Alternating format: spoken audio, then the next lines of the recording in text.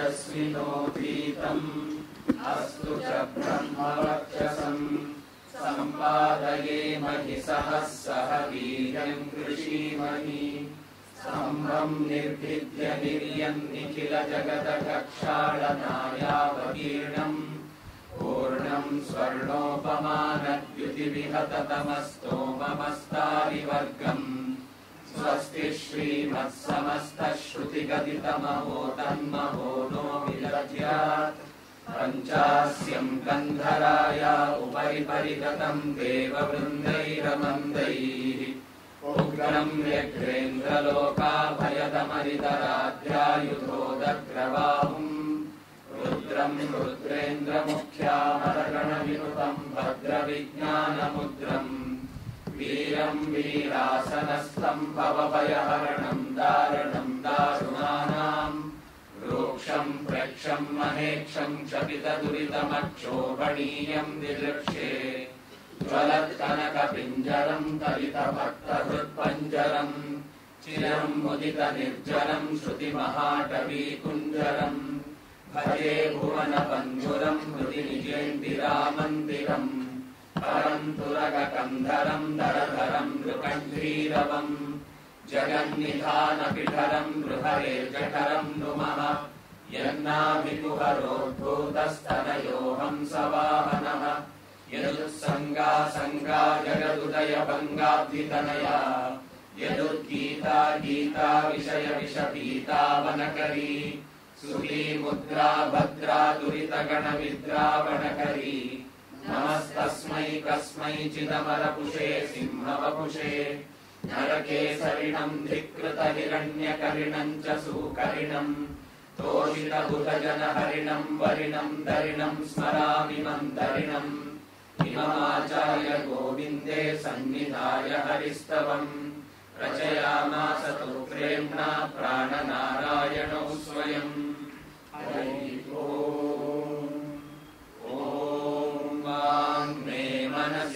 प्रतिष्ठिता। मनो मे वाचित् प्रतिष्ठितम् आविरावीर्णेति वेदस्य महाणीस्तश्रुतम् मे मा प्रहासीः। अनेनातीतेनाहोरात्रान् सन्दधामि। हृदम् वदिष्यामि सत्यम् वदिष्यामि। तन्मामवतु तद्वक्तारमवतु अवतु माम् अवतु वक्तारमवतु वक्तारम् ॐ शान्ति शान्ति शान्ति। जयति पराशरसूनुः। सत्यवती हृदय नंदनो व्यास। यस्य आस्य कमलगलितं जगत् पिबती ಭುಜಗ ಭೋಗಾಭಮುದ್ಯಮ್ಯ ಹೃದಯಂ ನಿಜಭುಜಂ ದಕ್ಷಿಣಂ ಲಕ್ಷಣಾಢ್ಯಂ ಲಲಿತಮುದ್ರಿಕ್ತ ವಿಜ್ಞಾನಮುದ್ರಂ ಭಜ ಭಜ ಅನಂತಮಿತ್ಯಾಲಪಂತಂ ಪ್ರಣತವಾನ್ ಪ್ರಾಣಿನಾಂ ಪ್ರಾಣಭೂತಂ ಪ್ರಣತಿಭಿಃ ಪ್ರೀಣಯೇ ಪೂರ್ಣಬೋಧಂ ಭವದವೋಷ್ಣೇನ ತಾತಪ್ಯಮಾನಾನ್ ಭುವಿ ಪರಂ ನಾಥಮಪ್ರೇಕ್ಷಮಾಣಾನ್ ಭುವನಮನ್ಯೇನ ಚ ಅನ್ಯೇನ ದೋಷ್ಣ ಭವತು ಭೀರ್ಮಾ ಇತಿ ನ ಸಾಂತ್ವಯಂತಂ. ಪ್ರಣತವಾನ್ ಪ್ರಾಣಿನಾಂ ಪ್ರಾಣಭೂತಂ, ಪ್ರಣತಿಭಿ ಪ್ರಿಣಯೇ ಪೂರ್ಣಬೋಧಂ. ನನ್ನ ಅಧ್ಯಾತ್ಮ ಬಂಧುಗಳೇ, ಇವತ್ತು ಸ್ವಲ್ಪ ಏನೋ ಆರೋಗ್ಯ ತೊಂದರೆ ಕೊಡ್ತಾ ಇದೆ. ಹಾಗಾಗಿ, ಆರೋಗ್ಯ ತೊಂದರೆ ಕೊಟ್ಟರೆ ಸ್ವಲ್ಪ ಕಮ್ಮಿ ಹೊತ್ತು ಇವತ್ತು ಮಾತಾಡ್ಬೋದು. ಅದು ಮಾತಾಡಲಿಕ್ಕೆ ಶುರುವಾದ ಮೇಲೆ ಭಗವಂತ ಎಷ್ಟು ಹೊತ್ತು ನೋಡಿಸ್ತಾನೆ ಅಂತ ನನಗೂ ಗೊತ್ತಿಲ್ಲ. ಒಂದು ವೇಳೆ ಬೇಗ ಮುಗಿಸಿದರೆ ಅದರ ಕಾರಣ ನನ್ನ ಅನಾರೋಗ್ಯ ಅಂತ ನಿಮಗೆ ಮೊದಲು ತಿಳಿಸಿದೆ ಅಷ್ಟೇ. ಇವಾಗ ಶಬ್ದಶಾಸ್ತ್ರದ ಮೂಲ ಏನು? ಅದಕ್ಕೆ ಅವನು ಯೋಬೈತಾಂ ಇದು ನಾವು ನಿನ್ನೆ ನಾನು ಇದನ್ನು ಸ್ವಲ್ಪ ಹೇಳಿದ್ದೇನೆ. ಯೋಬೈತಾಂ ವಾಚಂ ವೇದ. ಯಸ್ಯ ಏಷ ವಿಕಾರ, ಸ ಸಂಪ್ರತಿವಿತ ಅಂತ. ಈ ವಾಕ್ಕನ್ನು ಅಂದರೆ ಅಕಾರವನ್ನು, ಯಾರು ತಿಳಿದಿದ್ದಾನೆ? ಏನು ಅಂತ ತಿಳಿಯೋದು? ಇಡೀ ಪ್ರಪಂಚದ ಎಲ್ಲ ವಾಂಗ್ಮಯ ಅಕಾರದಲ್ಲಿ ಅಂತರ್ಗತವಾಗಿದೆ ಅಂತ ಯಾರು ತಿಳಿದಿದ್ದಾನೆ? ಯಸ್ಯಾಹ ಏಷ ವಿಕಾರ ಏಷಃ ವಿಕಾರ ಅಂದರೆ ಈ ಎಲ್ಲ ಭಾಷೆಯ ವಾಂಗ್ಮಯ. ಅಥವಾ ಇಲ್ಲಿ ಪ್ರಸಿದ್ಧವಾದ್ದು ಏಷ ವಿಕಾರ ಅಂದರೆ ಈ ಬೃಹತಿ ಸಹಸ್ರ. ಇಡೀ ಬೃಹತಿ ಸಹಸ್ರ ಅಕಾರದ ವಿಸ್ತಾರ ಅಂದರು. ಅಕಾರ ಅಂದರೆ ಏನು? ಅಕಾರ ಭಗವಂತನ ಹೆಸರು. ಹಾಗಾಗಿ ಇಡೀ ಬೃಹತಿ ಸಹಸ್ರ ಭಗವಂತನ ಉಡಗಾನ ಮಾಡುತ್ತೆ. ಆದ್ದರಿಂದ ಅದು ಅಕಾರದೇ ವ್ಯಾಖ್ಯಾನ. ಯಸ್ಯ ಏಷ ವಿಕಾರ ಇಷ್ಟು ಯಾರು ತಿಳಿಯುತ್ತಾನೆ? ಅವನು ಸಹ ಸಂಪ್ರತಿವಿತ್. ಅವನು ಚೆನ್ನಾಗಿ ತಿಳಿದುಕೊಂಡವನು. ಭಾಳ ಕಷ್ಟ ಏನು ಅಂದರೆ ನಾವು ಇಡೀ ಹನ್ನೆರಡು ವರ್ಷ, ಹದಿನಾರು ವರ್ಷ ಯಾವ್ಯಾವುದೋ ಸಬ್ಜೆಕ್ಟ್ನಲ್ಲಿ ಸ್ಪೆಷಲೈಸ್ ಮಾಡಿದರೂ, ಈ ವಿಷಯ ಗೊತ್ತಾಗೋಲ್ಲ ನಮಗೆ. ಇಡೀ ಪ್ರಪಂಚದ ಎಲ್ಲ ವಾಂಗ್ಮಯ ಆಕಾರದಲ್ಲಿ ಅಡಗಿದೆ. ಇದು ತಿಳಿಬೇಕು. ಅದು ತಿಳಿದರೆ ಅವನು ನಿಜವಾದ ಯಥಾರ್ಥ ಜ್ಞಾನಿ ಅಂತಾರೆ. ಈಗ ಇದು ಹೇಗೆ ಎಲ್ಲ ಅಕ್ಷರಗಳು ಎಲ್ಲ ಭಾಷೆಯ ಎಲ್ಲ ಶಬ್ದ ಸಮೂಹಗಳು ಅಕಾರದ ವಿಕಾರ ಹೇಗೆ ಅನ್ನೋದನ್ನು ಒಂದು ಸ್ವಲ್ಪ ತಂತ್ರಾಗಮಗಳ ಹಿನ್ನೆಲೆಯಲ್ಲಿ ನಾನು ವಿವರಿಸ್ತೇನೆ ಇವತ್ತು. ಮೊದಲು ಏನಿತ್ತು? ಅಕಾರ ಇತ್ತು. ಅಕಾರ ಅನ್ನತಕ್ಕಂಥ ವೃಕ್ಷ ಫಲ ಪುಷ್ಪಗಳಿಂದ ಕೂಡಿ ಓಂಕಾರ ಆಯಿತು. ಅಕಾರದಿಂದ ನೇರ ಹುಟ್ಟಿದ ಇನ್ನೊಂದು ಅಕ್ಷರ ಓಂಕಾರ. ಓಂಕಾರದಲ್ಲಿ ಎಂಟು ಅಕ್ಷರಗಳಿವೆ. ಅಕಾರ, ಉಕಾರ, ಮಕಾರ, ನಾದ, ಬಿಂದು, ಕಲಾ, ಶಾಂತ, ಅತಿಶಾಂತ. ಈ ಎಲ್ಲ ಅಕ್ಷರಗಳು ಕಿವಿಗೆ ಕೇಳಿಸೋಲ್ಲ. ಕಿವಿ ಕೇಳಿಸೋದು ನಾಕೆ? ಅಕಾರ, ಉಕಾರ, ಮಕಾರ ಸಂಯುಕ್ತವಾಗಿ ಕೇಳುತ್ತೆ. ಅದರಿಂದ ಒಂದು ಹೊಸ ನಾದ ನಿಷ್ಪನ್ನವಾಗುತ್ತೆ. ಓಂ. ಇಷ್ಟೇ, ನಮ್ಮ ಕಿವಿ ಕೇಳೋದು ಅಕಾರ, ಉಕಾರ, ಮಕಾರ, ನಾದ. ಆ ನಾದ ಹುಟ್ಟುವ ಮುಂಚೆ ಒಳಗಿನ ಪ್ರೊಸೆಸ್ ಇದು. ಒಂದೊಂದು ಅಕ್ಷರವೂ ಕೂಡ ಕಂಠನಾಳದಿಂದ ಹೊರಗೆ ಬರುತ್ತಲ್ಲ, ಆ ಸ್ಟೇಜಿನ ಬಿಂದು ಅಂತಾರೆ. ಆ ಬಿಂದು ಕಲಾ, ಒಂದು ಎಳೆಯಾಗಿ ಹೊರಗೆ ಬರುತ್ತೆ. ಆ ಅಕಾರ, ಉಕಾರ, ನಾದ, ಬಿಂದು, ಕಲಾ, ಅದರ ಹಿಂದೆ ಇನ್ನೂ ಹೇಳಿಗೆ ನಮ್ಮ ಹೃದಯದಿಂದ ಕೆಳಕ್ಕೆ ನಾಭಿಯಲ್ಲಿ ನಾದ ವೈಬ್ರೇಷನ್ ಸ್ಟಾರ್ಟ್ ಆಗುತ್ತೆ.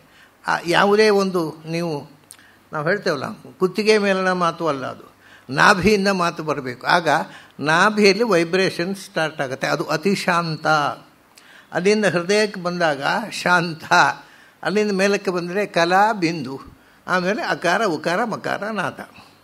ಹೀಗೆ ನಮ್ಮ ಕಿವಿಗೆ ಕೇಳಿಸದ ಅವರು ಎಲ್ಲಿ ತನಕ ಹೋಗ್ತಾರೆ ಅಂದರೆ ಆ ಹೃದಯದಲ್ಲಿ ಆ ಶಾಂತ ಉಂಟಲ್ಲ? ಅದನ್ನು ಅವ್ರು ಏನು ಹೇಳ್ತಾರೆ ಅಂದರೆ ಒಂದು ನಾದ ಹುಟ್ಟಬೇಕಾಗಿದ್ದರೆ ಒಂದು ಸದ್ದು, ಶಬ್ದ, ಸ್ಪಂದನ ಬೇಕು ವೈಬ್ರೇಷನ್ ಬೇಕು. ವೈಬ್ರೇಷನ್ನಿಂದ ನಾದ ಹುಟ್ಟುವುದು. ಅವ್ರು ಅದಕ್ಕೆ ಇವರು ಅತಿಶಾಂತ ಅಂದರು. ನೀವು ಅಲ್ಲಿ ಹೋದರೆ it is non vibratory sound ಅಂತ ವೈಬ್ರೇಷನ್ನೇ ಫೀಲ್ ಆಗುವುದಿಲ್ಲ. ಅಷ್ಟು ಸೂಕ್ಷ್ಮ ಸ್ಥಿತಿಯಲ್ಲಿ ಒಳಗಿನಿಂದ ಚಲನೆ ನಡೆಯುತ್ತದೆ. ಅದು ಮನಃ ಕಾಯಾಗ್ನಿಮಾಹಂತಿ. ಮನಸ್ಸು ನಮ್ಮ ನಾಭಿಯಲ್ಲಿರತಕ್ಕಂಥ ಅಗ್ನಿ ಉಂಟಲ್ಲ, ಜಠರಾಗ್ನಿ, ಅದಕ್ಕೆ ಮೆಸೇಜ್ ಕಳಿಸ್ತದೆ, ಈ ಶಬ್ದವನ್ನು ಉಚ್ಚಾರ ಮಾಡು ಅಂತ. ತಕ್ಷಣ ವಾಯು ಇದ್ದಾನಲ್ಲ, ಅವನು ಅದಕ್ಕೆ ಬೇಕಾದ ವೈಬ್ರೇಷನ್ ಕ್ರಿಯೇಟ್ ಮಾಡ್ತಾನೆ. ಅದು ಅದು ಸ್ಪಂದನ ಆಗ್ತಾ ಮೇಲೆ ಬಂದು ಕಂಠದಿಂದ ಹೊರಗೆ ಬರ್ತದೆ.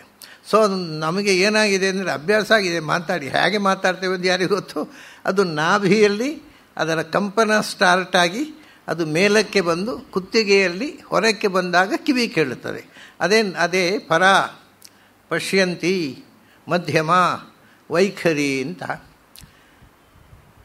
ನಾಲ್ಕು ಸ್ಟೇಜು ಪರ ಅಂದರೆ ನಿಮಗೆ ಕಿವಿಗೆ ಕೇಳದಂಥ ನಾಭಿಯಲ್ಲಿ ಉಂಟಾಗುವ ಕಂಪನ.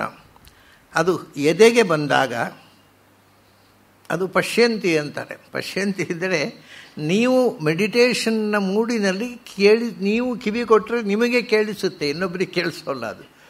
ಅದು ಅದರಿಂದ ಮಧ್ಯಮ ಸ್ಟೇಜಿಗೆ ಬಂತು, ಕಂಠಕ್ಕೆ ಬರುವಾಗ. ಅದು ಎಲ್ಲರಿಗೂ ಕೇಳುವ ವೈಖರಿ ನಾದಾಯಿತು ಬಾಯಿಂದ ಹೊರಗೆ ಬಂದ. ಹೀಗೆ ಶಬ್ದದ ನಾಲ್ಕು ಸ್ಟೇಜ್ಗಳನ್ನು ಅವರು ಹೇಳಿದರು. ಬೇಂದ್ರೆಯವರು ಒಂದು ಕವನವೇ ಬರೆದಿದ್ದಾರೆ. ಪರ ಶರರೂಪ ಅಂತ. ಅದು ಬಾಣದ ಹಾಗೆ ಮೇಲಕ್ಕೆ ಚಿಮ್ಮತ್ತೆ. ಆ ಪರ, ಆ ಪರಾನಾದ ಅದು ಮೇಲಕ್ಕೆ ಬಾಣದ ಹಾಗೆ ಮೇಲಕ್ಕೆ ಒಂದು ಹೊರಗೆ ಚಿಮ್ಮತ್ತೆ. ಅದು ಒಂದು ರೀತಿಯ ಆ ಬಾಣದ ವೇಗ. ಪರ ಶರರೂಪ ಅಂತ. ಹಾಗೆ ಓಂಕಾರ ಅನ್ನೋದು ಎಂಟು ಅಕ್ಷರಗಳಿಂದ, ಅಕಾರದಿಂದ ಅಭಿವ್ಯಕ್ತವಾದ ಎಂಟು ಅಕ್ಷರಗಳು ಸೇರಿ ಓಂಕಾರ ಆಯಿತು. ಆಮೇಲೆ ಏನಾಯಿತು? ಆ ಓಂಕಾರದಲ್ಲಿ ಎಂಟು ಅಕ್ಷರಗಳಿವೆಯಲ್ಲ, ಆ ಎಂಟು ಅಕ್ಷರಗಳಿಂದ ಎಂಟು ವಿಭಾಗದ ವರ್ಣಮಾಲೆ ನಿಷ್ಪನ್ನ ಆಯಿತು.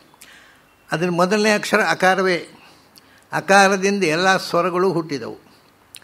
ವಸ್ತುತಃ ಸ್ವರಗಳು ಇರೋದು ಮೂರೇ.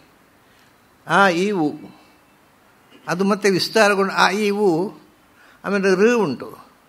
ಋ ಅನ್ನೋದು ರೇಫದ, ರೇಫಕ್ಕೆ ಅಕಾರ ಸೇರ ಅಥವಾ ಋ ಅನ್ನೋದು ಒಂದು ಸ್ವತಂತ್ರವಾದ ಸ್ವರ ಅಲ್ಲ. ರೇಫದಿಂದ ಅಕಾರ ಸೇರಿದ್ದು ರ ಆಗತ್ತೆ.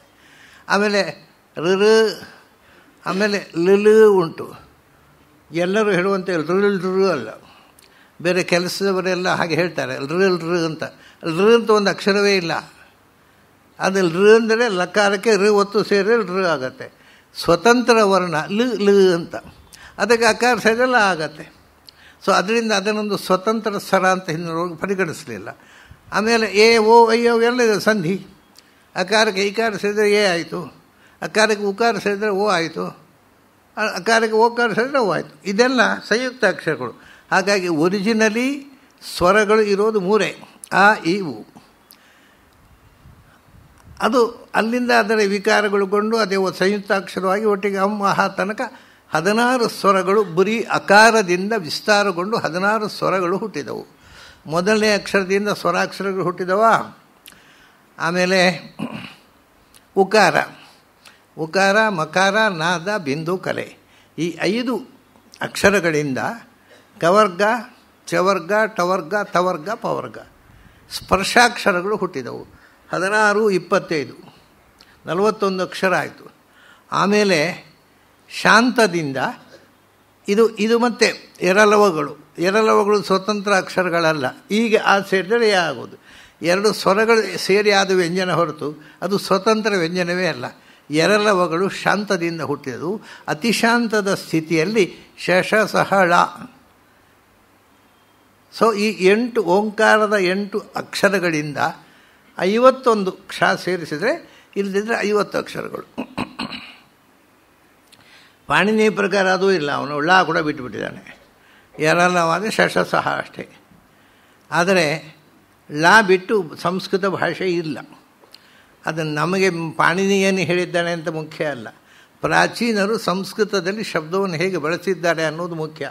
ಅದಕ್ಕೆ ಅನುಗುಣವಾಗಿ ಇಲ್ಲದೇ ಇದ್ದರೆ ನಾವು ಪಾಣಿನಿಯನ್ನು ಬಿಟ್ಟು ಬಿಡಬೇಕು ಪಾಣಿನಿ ಅಂದರೆ ಅವನು ಏನು ಹೇಳಿದ್ದಾನೆ, ಅದೇನು ವೇದವಾಕ್ಯ ಅಲ್ಲ, ಅಥವಾ ವೇದವ್ಯಾಸರ ವಾಕ್ಯವೂ ಅಲ್ಲ. ಅದು ಬರೀ ಪಾಣಿನಿಯ ವಾಕ್ಯ ಅಷ್ಟೇ.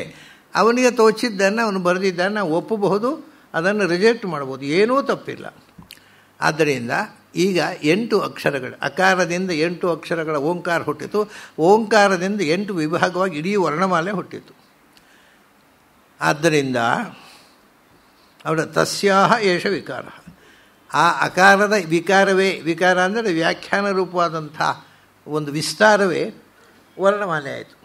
ಆ ವರ್ಣಮಾಲೆ ಆದಮೇಲೆ ಅದನ್ನು ನೀವು ಎಷ್ಟೋ ಈಗ ಏನು ಎಷ್ಟು ಶಬ್ದಗಳಿವೆ ಪ್ರಪಂಚದಲ್ಲಿ, ಅದೇ ಭಾರತೀಯ ಭಾಷೆಗಳಲ್ಲಿ ಅದು ಈ ಐವತ್ತೊಂದು ಅಕ್ಷರಗಳಲ್ಲೇ ಇರುತ್ತಲ್ಲ ಐವತ್ತೊಂದು ಅಕ್ಷರದ ಒಳಗೆ ಸೇರಿಬಿಟ್ಟೆ ಅದಕ್ಕಿಂತ ಹೊರಗೆ ಯಾವ ಶಬ್ದವೂ ಇಲ್ಲ.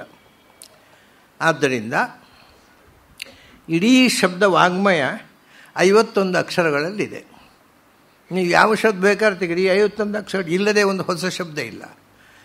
ಆದ್ದರಿಂದ ಎಲ್ಲ ವಾಂಗ್ಮಯ ಇಡೀ ಸಂಸ್ಕೃತ ವಾಂಗ್ಮಯ ಮುಖ್ಯತಃ ಬೇರೆ ವಾಂಗ್ಮಯಗಳು ಕೂಡ, ವಿದೇಶದ ವಾಂಗ್ಮಯಗಳನ್ನು ಬಿಟ್ಟು. ಅವರಿಗೆ ಈ ಅಕ್ಷರಗಳು, ಈ ಇವೆಲ್ಲ ವರ್ಣಮಾಲೆ, ಅದರ ಅಭಿವ್ಯಕ್ತಿ, ಅದೆಲ್ಲ ಅವ್ರಿಗೆ ಗೊತ್ತೇ ಇಲ್ಲ. ಅವ್ರ ಕನಸಿನಲ್ಲಿ ಯೋಚನೆ ಮಾಡಿದ ವಿಷಯ. ಆಗ ಅದನ್ನು ಬಿಟ್ಬಿಡೋಣ. ಇಲ್ಲಿ ಪ್ರಾಚೀನ ಶಾಸ್ತ್ರಕಾರರು ಹೀಗೆ ಅಕಾರದಿಂದ ಓಂಕಾರ ಹುಟ್ಟಿತು. ಓಂಕಾರದ ಎಂಟು ಅಕ್ಷರಗಳಿಂದ ಐವತ್ತೊಂದು ಅಕ್ಷರಗಳು ಹುಟ್ಟಿದವು. ಐವತ್ತೊಂದು ಅಕ್ಷರ ಹುಟ್ಟಿದ ಮೇಲೆ, ಮತ್ತು ಇಡೀ ಪ್ರಪಂಚದ ಎಲ್ಲ ಶಬ್ದಗಳು, ವಾಂಗ್ಮಯದ ಎಲ್ಲ ಶಬ್ದಗಳು ಐವತ್ತೊಂದು ಅಕ್ಷರದಲ್ಲಿ. ಅವರೇ ಹೇಳ್ತಾರೆ ಸ್ಯಾ ಯೇಷ ವಿಕಾರ. ಅದನ್ನೇ ಮುಂದೆ ಹೇಳ್ತಾರೆ. ಆದ್ದರಿಂದ ಅಕಾರೋ ವೈ ಸರ್ವಾ ವಾಕ್. ಜಗತ್ತಿನಲ್ಲಿ ಇರತಕ್ಕಂಥ ಎಲ್ಲ ವಾಂಗ್ಮಯ, ಜಗತ್ತು ಅಂದರೆ ಅವರು ಹೇಳುವಂತಹದ್ದು ವೈದಿಕ ಜಗತ್ತು ಅಥವಾ ಸಂಸ್ಕೃತ ಜಗತ್ತು. ಅಕಾರೋ ವೈ ಸರ್ವಾವಾಕ್ ಜಗತ್ತಿನಲ್ಲಿ ನಾವು ಯಾವ ಸಂಸ್ಕೃತದಲ್ಲಿ, ವೇದದಲ್ಲಿಯೋ ಅಥವಾ ಲೌಕಿಕ ಸಂಸ್ಕೃತದಲ್ಲಿಯೋ ನಾವು ಏನನ್ನು ಆಡ್ತೇವೆ ಆ ಮಾತು ಎಲ್ಲವೂ ಕೂಡ ಅಕಾರದ ವಿಸ್ತಾರ. ಹಾಗಾಗಿ ಅಕಾರದಲ್ಲಿ ಇಡೀ ವಿಶ್ವ ಅಡಗಿದೆ ಅಂತ. ಶಬ್ದ ಪ್ರಪಂಚ. ಅಕಾರೋ ಸರ್ವಾ ಸರ್ವಾವಾಕ್. ಅದು ಹೇಗೆ ರೀ? ನಾವೀಗ ಹಾಗಾದರೆ ಮಾತಾಡುವಾಗ ಬರೀ ಆ ಆ ಅಂತ ಹೇಳಿದರೆ ಆಗತ್ತಾ? ಕೇಳುವವರಿಗೆ ಅರ್ಥ ಆಗತ್ತಾ? ಏ, ಅದರಲ್ಲಿ ಎಲ್ಲ ಉಂಟಪ್ಪ, ಅರ್ಥ ಮಾಡಿಕೊಳ್ಳಿ ಅಂದರೆ. ಏನು ರೀ ಆ? ಅರೆ, ಆ ಅಂದರೆ ಏನು ಹೇಳ್ರಿ? ಅದೇ, ಆ ಅಂತ ಹೇಳಿದ ಒಳ್ಳೆ ಅರ್ಥ ಆಗಬೇಕು. ನೀವು ಏನು, ಆ ಅಕ್ಷರ ಹೇಳಿದ ಒಳ್ಳೆ ಅರ್ಥ ಆಗುತ್ತೆ ಜನರಿಗೆ? ಆಗೋಲ್ಲ. ಮತ್ತು ಅದಕ್ಕೆ ಅವರಿಗೆ ಅರ್ಥ ಆಗುವಂಥ ಶಬ್ದಗಳನ್ನು ಹೇಳಬೇಕು. ಅದು ಯಾಕೆ ಬೇರೆ ಶಬ್ದ ಹೇಳೋದು? ಅದಕ್ಕೆ ಹೇಳ್ತಾರೆ, ಸೈಷ. ಅವರು ಹೇಳ್ತಾರೆ ಸ್ಪರ್ಶೋಷ್ಮಭಿರ್ವ್ಯಜ್ಯಮಾನ ಬಹ್ವಿ ನಾನಾ ರೂಪ ಭವತಿ ಅಂತ. ಭಾಷೆ ಎಂದರೆ ಏನು? ಭಾಷೆಯಲ್ಲಿ ಒಂದು ಸ್ವರ ಅದು ಆಕಾರದಿಂದ ಮೊದಲು ಬಿಟ್ಟಿರೋದಲ್ಲ ಸ್ವರ ಇದೆ. ಮತ್ತು ಎರಲವಗಳು. ಅದು ಸ್ವರಗಳೇ. ಇ ಪ್ಲಸ್ ಆ ಯ, ಉ ಪ್ಲಸ್ ಆ ವ ಋ ಪ್ಲಸ್ ಆ ರ, ಲ ಪ್ಲಸ್ ಆ ಲ. ಸೊ ಇವು ಎರಡು ಸ್ವರ, ಎರಡು ಸ್ವರಗಳ ಸಂಯೋಜನೆಯಿಂದ ಆದ ವರ್ಣ ಹೊರತು ಸ್ವತಂತ್ರ ವ್ಯಂಜನ ಅಲ್ಲ ಅದು. ಅದು ಸ್ವರದಲ್ಲಿ ಸೇರಿಸಿದ್ರು. ಹಾಗಾದರೆ ಸ್ವರ ಪ್ರಪಂಚವನ್ನು ಅಕಾರ ಪ್ರತಿನಿಧಿಸುತ್ತೆ. ಉಳಿದದ್ದು ಯಾವುದು? ಸ್ಪರ್ಶ ಮತ್ತು ಊಷ್ಮ ಸ್ಪರ್ಶ ಅಂದರೆ ಕಕಾರದಿಂದ ಮಕಾರ ತನಕ ಇಪ್ಪತ್ತೈದು ಅಕ್ಷರಗಳು. ಊಷ್ಮ ಅಂದರೆ ಶಶಸಹಳ ಊಷ್ಮಾಕ್ಷರಗಳು ಅವರ ಪ್ರಕಾರ ಶಶಸಹ ಮಾತ್ರ. ಪಾಣಿನೀಯದ ಪ್ರಕಾರ ಳ ಇಲ್ಲಲ್ಲ ಅವರು. ಇಲ್ಲದಕ್ಕೆ ಅವರು ಊಷ್ಮವೋ ಅನೂಷ್ಮವೋ ಹೇಳಲಿಕ್ಕೆ ಅಕ್ಷರವೇ ಇಲ್ಲ ಅವರಿಗೆ. ಅದು ಎಲ್ಲಿಯೋ ಪ್ರಾಯ.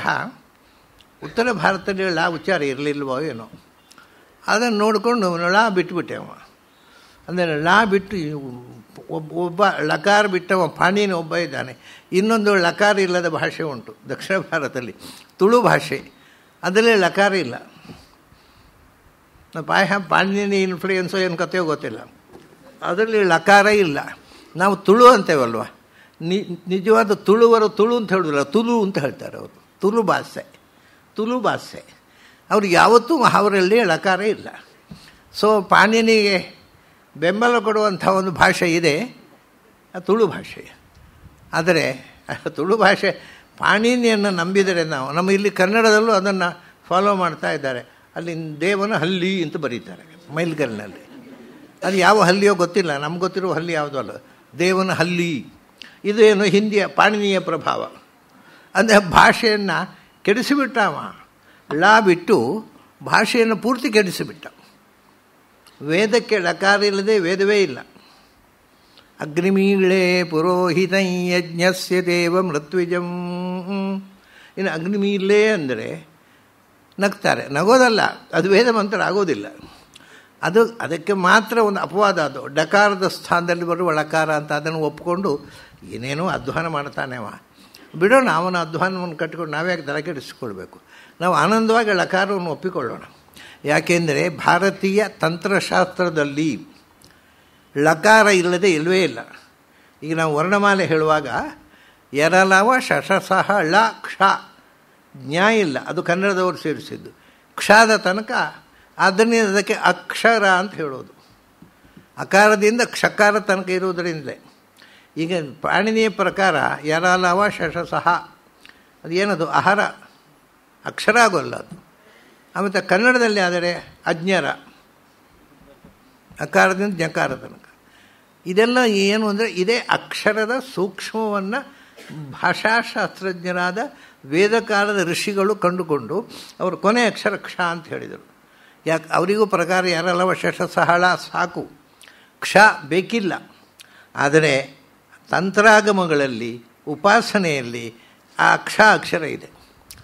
ಯಾವುದೇ ತಂತ್ರದಲ್ಲಿ, ನೀವು ಯಾವ ತಂತ್ರ ಬೇಕಾದ್ರೂ ಪ್ರಾಚೀನ ಆಗಮ ತಂತ್ರಗಳು, ವರ್ಣಮಾಲೆ ಉತ್ಪತ್ತಿ ಹೇಳುವಾಗ ಅವರು ಲಾ ಬಿಟ್ಟು ಲಾ ಮಾತ್ರ ಹೇಳೋದಿಲ್ಲ ಲಾ ಬೇಕೇ ಬೇಕು. ಲಾ ಬಿಟ್ಟು ವರ್ಣಮಾಲೆಯನ್ನು ಭಾರತದ ಯಾವ ಶಾಸ್ತ್ರಕಾರರೂ ಹೇಳಲಿಲ್ಲ ಎಕ್ಸೆಪ್ಟ್ ಪಾಣಿನಿ. ಯಾವ ತಂತ್ರಶಾಸ್ತ್ರ ತಗೊಳ್ಳಿ, ಅದರಲ್ಲಿ ಅಕಾರದಿಂದ ಲಕಾರ ತನಕ ಐವತ್ತು ಅಕ್ಷರಗಳು. ಇನ್ನೂ ಹೆಚ್ಚು ಅಕ್ಷರಗಳು ಇದೆ. ಅದನ್ನು ಇದರಲ್ಲಿ ಅಂತರ್ಭಾವ ಮಾಡ್ಬೋದು ಈಗ ಉದಾಹರಣೆಗೆ, ಅನುನಾಸಿಕ ಕವರ್ಗ. ಕಾ ಖ ಗ ಘ. ಇದನ್ನು ವೈದಿಕವಾದ ಒಂದು ಉಚ್ಚಾರ ಇದೆ. ಕ ಖ ಗಾ ಘ. ಯಾರ ಲಾವ ಯಾರ ಲಾವ ಅನುನಾಸಿಕವಾದ, ಇವನ್ನೆಲ್ಲ ಅದು ಉಚ್ಚಾರ ವ್ಯತ್ಯಾಸಗಳು, ಅಕ್ಷರ ಅದೇ. ಹಾಗಾಗಿ ಐವತ್ತು ಅಕ್ಷರ ಅನ್ನೋದು ನಿಕ್ಕಿ. ಅದರಲ್ಲಿ ಕಮ್ಮಿ ಮಾಡಲಿಕ್ಕಿಲ್ಲ. ಅದನ್ನ ಲಾ ಬಿಟ್ಟು ಇಡೀ ಭಾರತೀಯ ತಂತ್ರಾಗಮದಲ್ಲಿ ಲಾ ಬಿಟ್ಟು ಅಕ್ಷರ ಮಾಲಿಕೆಯನ್ನು ಪರಿಗಣನೆ ಮಾಡುವ ಸಂಪ್ರದಾಯವೇ ಇಲ್ಲ. ಅದರಿಂದ ವೈದಿಕ ಸಂಪ್ರದಾಯ, ತಾಂತ್ರಿಕ ಸಂಪ್ರದಾಯ ಲಕಾರ ಸಹಿತವಾದ್ದು.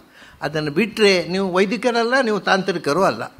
ಲಾ ಬಿಟ್ಟರೆ ಆಯಿತು. ಇಷ್ಟು ವರ್ಣಗಳು ಓಂಕಾರದಿಂದ ಹುಟ್ಟಿದವು. ಆದ್ದರಿಂದ ಇಡೀ ವರ್ಣಮಾಲೆ ಆಯಿತಲ್ವ? ಇವರು ಹೇಳ್ತಾರೆ, ಸ್ಪರ್ಶ ಉಷ್ಮಭಿಹಿ ವ್ಯಜ್ಯಮಾನ ಅಂತ. ಸ್ವರಾಕ್ಷರಗಳೆಲ್ಲ ಆಯಿತು. ಎರಲವಗಳು ಸ್ವರಾಕ್ಷರಗಳೇ. ಎರಡು ಸ್ವರ ಒಟ್ಟಿಗೆ ಸೇರಿ ಆದ ವ್ಯಂಜನ. ಸ್ವತಂತ್ರ ವ್ಯಂಜನ ಅಲ್ಲ ಅದು. ಅದರ ಜೊತೆಗೆ ಸೇರಿಕೊಂಡದ್ದು ಇಪ್ಪತ್ತೈದು ಸ್ಪರ್ಶಾಕ್ಷರಗಳು. ಕಾದಿಂದ ಮಾ. ಕಾದಯೋ ಮಾಂಸಾನಾಹ ಸ್ಪರ್ಶಾಹ. ಆಮೇಲೆ ಆಮೇಲೆ ಊಷ್ಮ. ಊಷ್ಮ ಅಂದರೆ ಷಷ್ಠಸಹಳ. ಇಷ್ಟು ಅಕ್ಷರಗಳನ್ನು ಸೇರಿಸಿಕೊಂಡು ಯಾವುದು ಅಕಾರ? ತನ್ನಿಂದಲೇ ವ್ಯಕ್ತವಾದ ಈ ಸ್ಪರ್ಶಾಕ್ಷರಗಳನ್ನು, ಊಷ್ಮಾಕ್ಷರಗಳನ್ನು ಸೇರಿಸಿಕೊಂಡು ಅಭಿವ್ಯಕ್ತವಾಯ್ತಂತೆ. ಏನಾಯಿತು ಅಭಿವ್ಯಕ್ತ? ಬಹ್ವಿ ನಾನಾ ರೂಪ ಭವತಿ. ಬಹ್ವಿ, ನೀವು ಕಲ್ಪನೆ ಮಾಡದಷ್ಟು ಇರೋದು ಐವತ್ತೊಂದು ಅಕ್ಷರ. ಅದರಿಂದ ಲಕ್ಷ ಲಕ್ಷ ಶಬ್ದಗಳು ಹುಟ್ಟಿಕೊಂಡವು. ಇಷ್ಟರಿಂದ ಬೇಕಾದ ಶಬ್ದಗಳಾಯಿತು. ಬಹ್ವಿ ಒಂದೆರಡಲ್ಲ, ಇಡೀ ಭಾಷಾ ಪ್ರಪಂಚ ಹುಟ್ಟಿದ್ದು ಈ ಐವತ್ತೊಂದು ಅಕ್ಷರದಿಂದ. ಅದರಿಂದ ಅದು ಬಹ್ವಿ ತುಂಬ ಬಹು ಅಂದರೆ ಎಣಿಕೆಗೆ ಸಾಧ್ಯವಿಲ್ಲದಷ್ಟು ಲಕ್ಷ ಲಕ್ಷ ಶಬ್ದಗಳು ಹುಟ್ಟಿದವು. ಆಮೇಲೆ ಆ ಶಬ್ದಗಳು ಹುಟ್ಟಿಕೊಂಡದ್ದು ಯಾಕೆ ಅಷ್ಟು ಶಬ್ದಗಳು ಹುಟ್ಟಿಕೊಂಡೆವು ಅಂದರೆ ನಾನಾ ರೂಪ. ಒಂದು ಶಬ್ದದ ಅರ್ಥ ಇನ್ನೊಂದು ಶಬ್ದಕ್ಕಿಲ್ಲ. ಆ ಅಕ್ಷರಗಳ ಸಂಯೋಜನೆಯಿಂದ ಹೊಸ ಹೊಸ ಶಬ್ದಗಳು ಹುಟ್ಟಿದವು.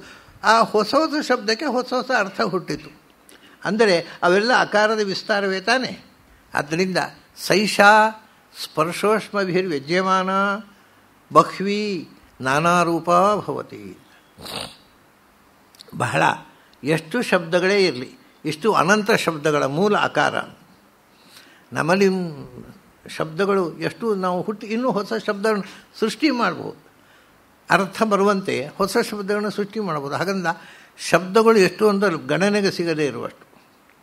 ಅಷ್ಟೂ ಶಬ್ದಗಳು ಐವತ್ತೊಂದು ಶಬ್ದ ಅಕ್ಷರಗಳಲ್ಲೇ ಇದೆ. ಇದು ಶಬ್ದ ಪ್ರಪಂಚ ಬೆಳೆದು ಬಂದ ಬಗೆ. ಇದರ ಮೂಲ ಅಕಾರ. ಅದರಿಂದ ಏನಾಯ್ತು? ಅಕಾರ ಅಂದರೆ ಏನು ಅಂತ ಹೇಳಿ ಮುಂದೆ ಹೇಳ್ತಾರೆ. ಆಹೇತಿ ಬ್ರಹ್ಮ. ಅಕಾರದ ಅರ್ಥ ಭಗವಂತ ಅಂತ.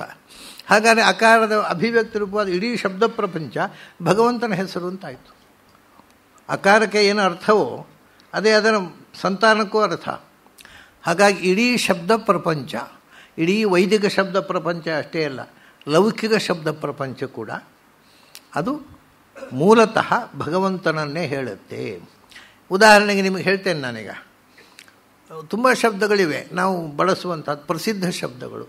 ಅಗ್ನಿ ಅಂತ ಒಂದು ಶಬ್ದ ಇದೆ. ಅದು ಎಲ್ರಿಗೂ ಗೊತ್ತಿದೆ. ಹೊಸ ಶಬ್ದ ಅಲ್ಲ. ಸಂಸ್ಕೃತ ಅಗ್ನಿ ಶಬ್ದವನ್ನು ಏಳು ವಿಭಕ್ತಿಗಳಲ್ಲಿ ನಡೆಸಿಂದೇ ಬಾರದೇ ಇರ್ಬೋದು ಅದು ಅಗ್ನಿಯಿಂದ ಏನು ಅಂತ ಎಲ್ರಿಗೂ ಗೊತ್ತಿದೆ. ಆ ಅಗ್ನಿ ಅಂದರೆ ಏನು? ಅಗ್ನಿ ಅಂದರೆ ಬೆಂಕಿ. ಅದು ಅಲ್ಲ ಅಗ್ನಿ ಅಂದರೆ ನೀವು ಬೆಂಕಿ ಅಂತ ಹೇಳ್ತೀರಲ್ಲ, ಯಾಕೆ?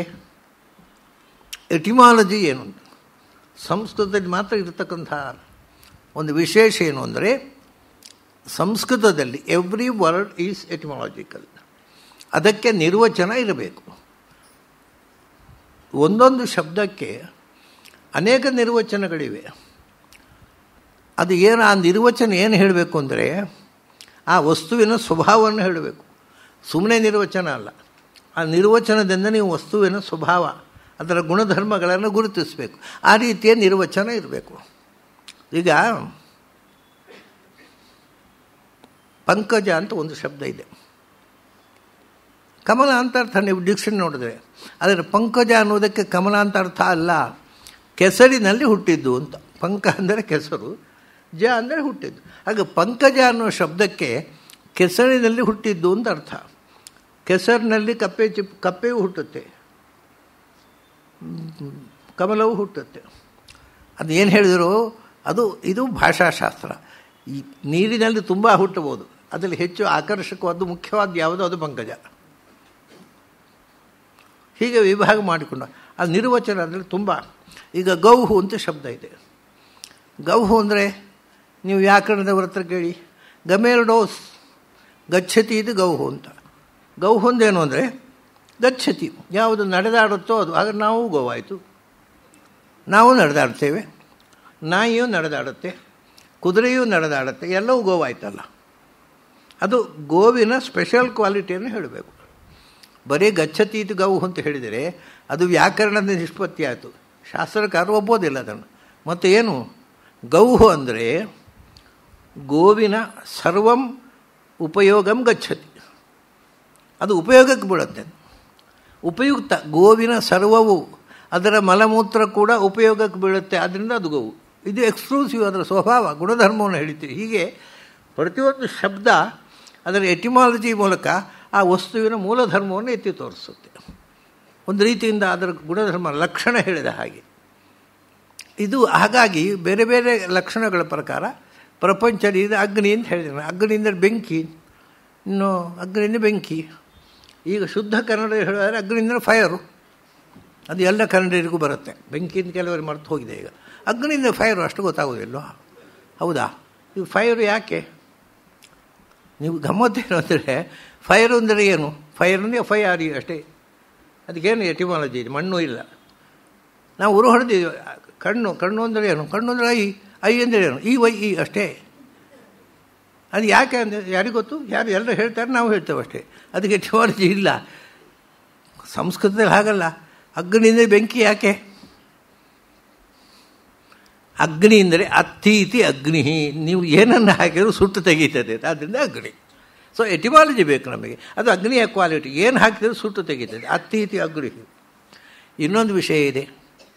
ಒಳಗಿನಿಂದ ಟೆಂಪರೇಚರ್ ಇದ್ದರೆ ನಾವೆಲ್ಲ ಚಟುವಟಿಕೆ ಶುರುವಾಗುತ್ತೆ.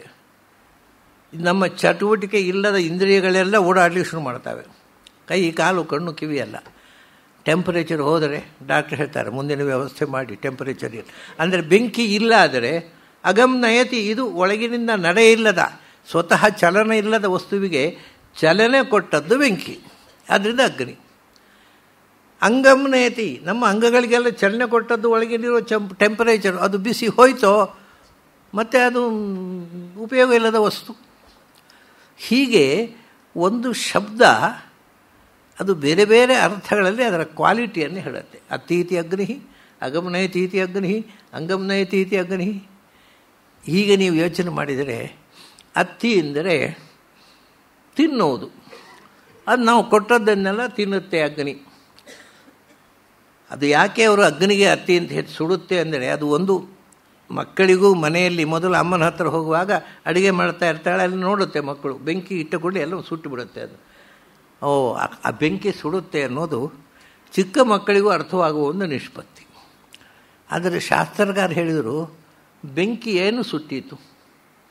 ತಸ್ಮಿನ್ ತ್ವಯಿ ಕಿಂಬೀರಿಯ ಮಿತಿ ಸರ್ವಮಿದಂ ದಹೇಯಮಿದಿದಂ ಪೃಥ್ವಿಯ. ಭಗವಂತ ಅಗ್ನಿಯ ಥರ ಕೇಳಿದ, ನಿನಗೇನು ತಾಕತ್ತು? ನಾನು ಎಲ್ಲವನ್ನು ಸುಟ್ಟು ಬಿಡ್ತೇನೆ ಅಂತ. ತಸ್ಮೈ ತೃಣಮ್ನಿ ದದ್ದಹು ಏತದ್ ದಹೇತಿ. ಒಂದು ಹುಲ್ಲುಗರಿ ಇಟ್ಟಂದು ಇದನ್ನು ಸುಟ್ಟು ಅವನು ಏನು ಮಾಡಿದ್ರೆ ಸುಡಲಿಕ್ಕೆ ಆಗಲಿಲ್ಲ ಆದರೆ ನಿಜವಾಗಿ ಎಲ್ಲವನ್ನು ಸುಡುವವನು ಯಾರು? ಪ್ರಳಯ ಕಾಲದಲ್ಲಿ ಈ ವಿಶ್ವವನ್ನು ಸಂಹಾರ ಮಾಡುವವನು ಯಾರು? ಆದ್ದರಿಂದ ನಿಜವಾದ ಅಗ್ನಿ ಎಂದರೆ ಭಗವಂತ ಇದು ಶಾಸ್ತ್ರಕಾರರ ಎಟಿಮಾಲಜಿ ಮೇಲೆ ಒಂದು ಭಾಷೆಗೆ ಅದರ ಡೆಪ್ತು ನೀವು ಅಗ್ನಿಯಿಂದ ಬೆಂಕಿಯಿಂದ ಅದು ಮಕ್ಕಳು ಹೇಳ್ತಾರೆ, ಅದೊಂದು ದೊಡ್ಡ ಸಂಗತಿ ಅಲ್ಲ. ಅದು, ಎಷ್ಟು ಸುಟ್ಟಿತು ಈ ಅಗ್ನಿ? ಇಡೀ ವಿಶ್ವದಲ್ಲಿ ಎಷ್ಟು ಅಂಶ ಸುಡು? ಅಗ್ನಿಗೆ ಸುಡುವ ಸಾಮರ್ಥ್ಯ ಸೀಮಿತ. ಮತ್ತು ನಮಗೇನು ಗೊತ್ತುಂಟ? ನಾವು ಅಗ್ನಿ ಅಂತ ಹೇಳಿ ಬೆಂಕಿಗೆ ವಿಶೇಷವಾಗಿ ಹೇಳೋದು ಯಾಕೆ ಅಂದರೆ, ಹೋಮ ಮಾಡ್ತಿದ್ರು ಹಿಂದೆ. ಈಗ ಪುರೋಹಿತರು ಬರಬೇಕು, ಯಾರಿಗೆ ಹೋಮ ಮಾಡಲಿಕ್ಕೆ ಬರೋಲ್ಲ. ಅಗ್ನಿಯಲ್ಲಿ ಹೋಮ ಮಾಡ್ತಿದ್ದರು ಏನು ನಾವು ಏನು, ದೇವರಿಗೆ ಯಾರು ಆಹುತಿ ಕೊಡೋದು? ಇಂದ್ರ ಯಸ್ವಾಹ ವಾಯವೇ ಯಸ್ವಾಹ ಸೂರ್ಯ ಯಸ್ವಾಹ ಪ್ರಜಾಪತ ಸ್ವಾಹ, ಈ ಎಲ್ಲ ಆಹುತಿಗಳನ್ನು ಕೊಡ್ತಿದ್ದರು ಆಹುತಿ ಕೊಟ್ಟರೆ ಅಂದರೆ ದೇವರಿಗೆ ಅರ್ಪಿಸುವುದಲ್ವ ಅದು. ಆಹುತಿ ಅಂದರೆ ಅರ್ಪಣೆ ಅದು. ನಾವು ದೇವರಿಗೆ ಅರ್ಪಣೆ ಅಂತ ಹರಿಮಾಡ ತಟ್ಟೆಯಲ್ಲಿಟ್ಟು, ದೇವರೇ ತಿನ್ನು ಅಂದರೆ ತಿಂತಾನೋ ತಿನ್ನೋಲ್ಲ ಮತ್ತು ಏನು ಮಾಡೋದು? ನೋಡಿ, ಅಲ್ಲಿ ಹಾಕಿದರೆ ನಾವು ದೇವರಿಗೆ ಏನನ್ನು ಅರ್ಪಿಸಿದೆವೋ ಅದನ್ನು ತಿಂದುಬಿಡ್ತಾನೆ ಅವ. ಸೊ ಎಲ್ಲವನ್ನು ದೇವರಿಗೆ ಅರ್ಪಣೆ ಮಾಡಿದ್ದನ್ನು ತಿನ್ನುವ ದೇವರು ಅಂತ ಅಗ್ನಿಗೆ ಅತ್ತಿ ಅಂತ ಹೆಸರು ಬಂದದ್ದು. ಹೀಗೆ ಒಂದು ಶಬ್ದ ಆ ವಸ್ತುವಿನ ಇತಿಹಾಸವನ್ನು ಹೇಳುತ್ತೆ ಸಂಸ್ಕೃತದಲ್ಲಿ. ಬೇರೆ ಭಾಷೆಗೆ ಈ ಸೌಕರ್ಯ ಇಲ್ಲ. ಸಂಸ್ಕೃತದಲ್ಲಿ ಮಾತ್ರ, ಆದರೆ ಸಂಸ್ಕೃತದಲ್ಲಿಯೂ ಕೆಲವು ನಿರ್ವಚನ ಇಲ್ಲದ ಶಬ್ದಗಳು ಅಂತ ಕೆಲವು ವೈಯಾಕರಣರು ಹೇಳ್ತಾರೆ. ಅದು ತಪ್ಪು. ನಿರ್ವಚನ ಇಲ್ಲದ ಶಬ್ದವೇ ಇಲ್ಲ. Every word in Sanskrit is etymological ಹೀಗೆ ಅನಂತ ಶಬ್ದಗಳಾದವು. ಒಂದೊಂದು ವಸ್ತುವಿನ ಗುಣಧರ್ಮಗಳನ್ನು ನಿರೂಪಿಸುವ ಹೊಸ ಹೊಸ ಶಬ್ದಗಳನ್ನು ಸೃಷ್ಟಿ ಮಾಡಿ. ಅನಂತ ಶಬ್ದಗಳಾದವು. ಅದನ್ನು ಬಹ್ವೀಹಿ ಎಷ್ಟು ಶಬ್ದಗಳು ನಾನಾ ರೂಪಾಹ, ಒಂದೊಂದು ಒಂದೊಂದು ಅರ್ಥವನ್ನು ಹೇಳುವಂಥವು. ನಾನಾ ರೂಪಾಹ. ಆದರೆ ಕೆಲವು ಶಬ್ದಗಳು ಪರ್ಯಾಯ ಶಬ್ದಗಳು ಅಂತ ಇಲ್ಲ, ನಿಜವಾಗಿ ಪರ್ಯಾಯ ಶಬ್ದಗಳು ಅಂತ ಇಲ್ಲ. ಅಂದರೆ ನೂರಕ್ಕೆ ನೂರರಷ್ಟು ಒಂದೇ ಅರ್ಥವನ್ನು ಹೇಳುವ ಎರಡು ಶಬ್ದ ಸಂಸ್ಕೃತದಲ್ಲಿ ಇಲ್ಲ. ಈ ಪರ್ಯಾಯ ಶಬ್ದಗಳು ನಮ್ಮ ಸೋಮಾರಿತನದಿಂದ ಬಂದದ್ದು. ಈಗ ಉದಾಹರಣೆಗೆ ನಮ್ಮಲ್ಲಿ ನೀವು ವಾಪಿ ಎಂದರೆ ಏನು? ವಾಪಿ ಅಂದರೆ ಬಾವಿ, ಕೂಪ ಅಂದರೆ ಏನು? ಕೂಪ ಅಂದರೆ ಬಾವಿ. ನೀವು ಡಿಕ್ಷನ್ ನೋಡಿದರೆ ಎರಡಕ್ಕೂ ವೆಲ್ ಅಂತ ಬರೀತಾರೆ. ವಾಪಿ ಮತ್ತು ಕೂಪ ಸಾಮಾನ್ಯ ಜನರಿಗೆ, ಅಮರಕೋಶ ಓದಿದವರಿಗೆ ಒಂದೇ ಅರ್ಥ ಅದಕ್ಕೆ. ಆದರೆ ವಾಪಿ ಅಂದರೆ ಇಳಿಬಾವಿ ಕೂಪ ಅಂದರೆ ಸೇದು ಬಾವಿ. ಸೊ ನೂರಕ್ಕೆ ನೂರರಷ್ಟು ಒಂದೇ ಅರ್ಥವನ್ನು ಹೇಳುವ ಎರಡು ಶಬ್ದ ಸಂಸ್ಕೃತ ಭಾಷೆಯಲ್ಲಿ ಇಲ್ಲ. ಅದಕ್ಕೆ ಹೇಳಿದರು, ನಾನಾ ರೂಪ ಒಂದರ ರೂಪ ಇನ್ನೊಂದಕ್ಕಿಲ್ಲ. ರೂಪ ಅಂದರೆ ಅದು ನಿರೂಪಣೆ ಮಾಡೋ ಅರ್ಥ. ಪೂರ್ತಿ ಒಂದೇ ಅರ್ಥವನ್ನು ಹೇಳುವ ಎರಡು ಶಬ್ದಗಳಿಲ್ಲ. ಪರ್ಯಾಯ ಶಬ್ದಗಳು ಅಂತ ಸುಮಾರಾಗಿ ಹೇಳುವುದಷ್ಟೇ. ಆದರೆ ಪರ್ಯಾಯ ಶಬ್ದಗಳು, ನೂರಕ್ಕೆ ನೂರರಷ್ಟು ಪರ್ಯಾಯ ಶಬ್ದಗಳಿಲ್ಲ. ಅವೆಲ್ಲವೂ ನಾನಾ ರೂಪ. ಅದು ಒಂದ, ಒಂದು ಹೇಳದಂತಹ ಒಂದು ಹೊಸ ಅರ್ಥವನ್ನು ಅದು ಹೇಳುತ್ತೆ. ಈಗ ನೋಡಿ, ಗಿರಿ ಅಂದರೆ ಏನು? ಬೆಟ್ಟ. ಪರ್ವತ ಅಂದರೆ ಏನು? ಬೆಟ್ಟ. ಮೌಂಟನ್ ಹೇಳಿಬಿಟ್ರೆ ಆಗೋಯ್ತು. ನಮಗೆ ಅದು ಮೌಂಟನ್ ಅಲ್ಲ. ಗಿರಿ ಅಂದರೆ ಮೌಂಟನು. ಪರ್ವತ ಅಂದರೆ ಫೋಲ್ಡೆಡ್ ಮೌಂಟನ್. ಪರ್ವಭಿ ಪರ್ವತ ಪ್ರವೃತ್ತ. ತದನ್ನೇ ಗಿರೆಯ ಸ್ಮೃತ. ಯಾವುದು ಫೋಲ್ಡ್ ಇರುವಂಥದ್ದು, ಈ ಹಿಮಾಲಯದಂಥದ್ದು, ಅದು ಪರ್ವತ. ಅದು ಅಲ್ಲದ್ದು ಉಳಿದದ್ದು ಗಿರಿ. ಗಿರಿ ಪರ್ವತ ಪರ್ಯಾಯ ಶಬ್ದಗಳಲ್ಲ. ಹಾಗೆ ಇದು ಪ್ರಾಚೀನ ಋಷಿಗಳು ಶಬ್ದದಲ್ಲಿ ಕಂಡ ಸೊಬಗು. ಒಂದೊಂದು ಒಂದೊಂದು ಹೊಸ ಅರ್ಥವನ್ನು ಹೇಳುತ್ತೆ. ಆಯಿತು. ಅಂಥ ಬಹುರೂಪ ಶಬ್ದ ಆಯಿತು. ಆ ಶಬ್ದಗಳೇ ನೀವು ಹೀಗೆ ಅದನ್ನು, ಅದು ಅಕಾರದ ವಿಸ್ತಾರ ಅಂತ ತಿಳ್ಕೊಂಡ್ರೆ ಪ್ರತಿಯೊಂದು ಮಾತು ಮಂತ್ರವಾಗಿ ಹೋಯಿತು. ನೀವು ಏನು ಹೇಳಿದರೆ ಅದು ಮಂತ್ರ. ಸ್ತುತಿಸ್ತು ವಾಗಿಂದ್ರಿಯ ವೃತ್ತಿರಸ್ತು. ನಾವು ಬಾಯಿಯಿಂದ ಆಡೋ ಮಾತೆಲ್ಲ ಸ್ತೋತ್ರವಾಯಿತು, ಮಂತ್ರವಾಯಿತು. ಅದು ಮಂತ್ರ ಆಯ್ತಲ್ವ? ನಾವು ಮಂತ್ರವನ್ನು ಹೇಗೆ ಹೇಳಬೇಕು ಅಂತ ಒಂದು ವಿಷಯ ಈಗ. ಮಂತ್ರವನ್ನು ಹೇಗೆ ಹೇಳಬೇಕು ಅಂತ. ಯಾವತ್ತೂ ಮಂತ್ರವನ್ನು ಗಟ್ಟಿಯಾಗಿ ಇನ್ನೊಬ್ಬರ ಕಿವಿಗೆ ಕೇಳಿಸುವಂತೆ ಹೇಳಬಾರದು. ಗಟ್ಟಿ ಹೇಳುವ ಅಭ್ಯಾಸ ಕೆಲವರಿಗೆ. ಮಂತ್ರ ಶುಭ ತೋಡ್ಲೆ ಗಟ್ಟಿ ಹೇಳಿಬಿಡ್ತಾರೆ. ಯಾವತ್ತೂ ಮಂತ್ರವನ್ನು ಗಟ್ಟಿಯಾಗಿ ಹೇಳಬಾರದು. ಅಂದರೆ ಇಲ್ಲಿ ನೀವು ಮೇಲೆ ಹೇಳಬೇಕು ಅಂತಲ್ಲ, ಯಾಕಂದ್ರೆ ಇಲ್ಲಿ ಹೇಳಿ, ಹೇಳದೇ ಇದ್ದರೂ ಒಂದೇ ಹೇಳಿದರು ಇದು ಎಲ್ಲರಿಗೂ ಕೇಳುವಂತೆ ಹೇಳುವಂಥ ಸ್ತೋತ್ರಗಳಿವು. ಅದಲ್ಲ, ನೀವು ಮಂತ್ರವನ್ನು ಜಪಿಸುವಾಗ ಅಭ್ಯಾಸ ಇದ್ದವರು, ಮಂತ್ರ ಜಪಿಸುವ ಅಭ್ಯಾಸ ಕೆಲವರಿಗೆ ಇವತ್ತಿಗೂ ಆ ದುರಭ್ಯಾಸ ಇದೆ. ಆ ದುರಭ್ಯಾಸ ಇದ್ದವರು ಹೇಗೆ ಜಪ ಮಾಡಬೇಕು ಅಂತ? ಗಟ್ಟಿ ಕಿರಿಚಬೇಕೋ, ಮನೆಯವರೆಲ್ಲ ನಿದ್ರೆ ಹಾಳಾಗುವ ಹಾಗೆ ಅಥವಾ ಮೆಲ್ಲಗೆ ಮನಸ್ಸಿನಲ್ಲೇ ಹೇಳಬೇಕು, ಅಥವಾ ತುಟಿ ಚಲನೆ ಇರಬೇಕು. ಮೂರು ಥರ ಅಲ್ವಾ? ಒಂದು ಮನಸ್ಸಲ್ಲೇ ಹೇಳೋದು. ಉಚ್ಚಾರ ಇಲ್ಲ. ಮತ್ತೊಂದು, ಉಚ್ಚಾರ ಇದೆ, ಅದು ನಿಮ್ಮ ಕಿವಿಗೆ ಮಾತ್ರ ಕೇಳುತ್ತೆ, ಇನ್ನೊಬ್ಬರಿಗೆ ಕೇಳೋಲ್ಲ ಆ ಥರ ನಾವು ಪಿಸುಗುಡೋದು ಅಂತ ಹೇಳ್ತೇವೆ. ಇನ್ನೊಂದು ಗಟ್ಟಿಯಾಗಿ ಹೇಳೋದು. ಇದು ಯಾವುದು ಒಳ್ಳೆಯದು ಗಟ್ಟಿ ಹೇಳಬೇಕು, ಮೆಲ್ಲ ಹೇಳಬೇಕು, ತುಟಿಯಲ್ಲೇ ಹೇಳಬೇಕು ಅಂದರೆ. ಅವ್ರು ಹೇಳು, ತಸ್ಯೈ ಯದು ಉಪಾಂಶು ಸ ಪ್ರಾಣ ಅಂತಂದರು. ಈ ಯಾವುದೇ ಒಂದು ಶಬ್ದ, ನೀವು ಉಪಾಂಶು ಉಪಾಂಶು ಅಂದರೆ ತುಟಿಯಲ್ಲೇ ಹೇಳೋದು. ಅದು ಗಟ್ಟಿ ಹೇಳಬಾರ್ದು. ಹೇಳದೆ ಮನಸ್ಸಿನಲ್ಲೇ ಈ ಉಚ್ಚಾರವೂ ಅಲ್ಲ. ಬರೇ ತುಟಿ ಹಂದಾಡೋದು ಕಾಣುತ್ತೆ. ಏನು ಹೇಳ್ತಾನೆ ಅಂತ ಗೊತ್ತಾಗೋಲ್ಲ. ಕೆಲವರು ಮನೇಲಿ ಗುಟ್ಟು ಮಾತಾಡ್ತಾರೆ ಹಾಗೆ. ಅವರಿಬ್ಬರು ಮಾತಾಡ್ಕೊಳ್ತಾ ಇರ್ತಾರೆ. ಏನು ಮಾತಾಡ್ತಾರೆ ನಮ್ಮ ಹತ್ತಿರ ದೂರ ಗೊತ್ತಾಗೋಲ್ಲ. ಅದು ಉಪಾಂಶು ಡೈಲಾಗ್ ಹಾಗೆ ನಮಗೆ ಇದು ಏನಪ್ಪ? ಅದು ಉಪಾಂಶು ಯಾಕೆ ಅಂದರೆ, ಈ ಉಪಾಂಶ ಉಚ್ಚಾರ ಉಂಟಲ್ಲ, ನಾವು ನಮ್ಮಷ್ಟಕ್ಕೆ ನಮ್ಮ ತುಟಿ ನಲಗಿಸುತ್ತಾ ಇನ್ನೊಬ್ಬರಿಗೆ ಕೇಳದಂತೆ ಮಾತಾಡೋದು, ಅದರ ಅಭಿಮಾನ ದೇವತೆ ಯಾರು ಗೊತ್ತಾ? ಪ್ರಾಣದೇವರು.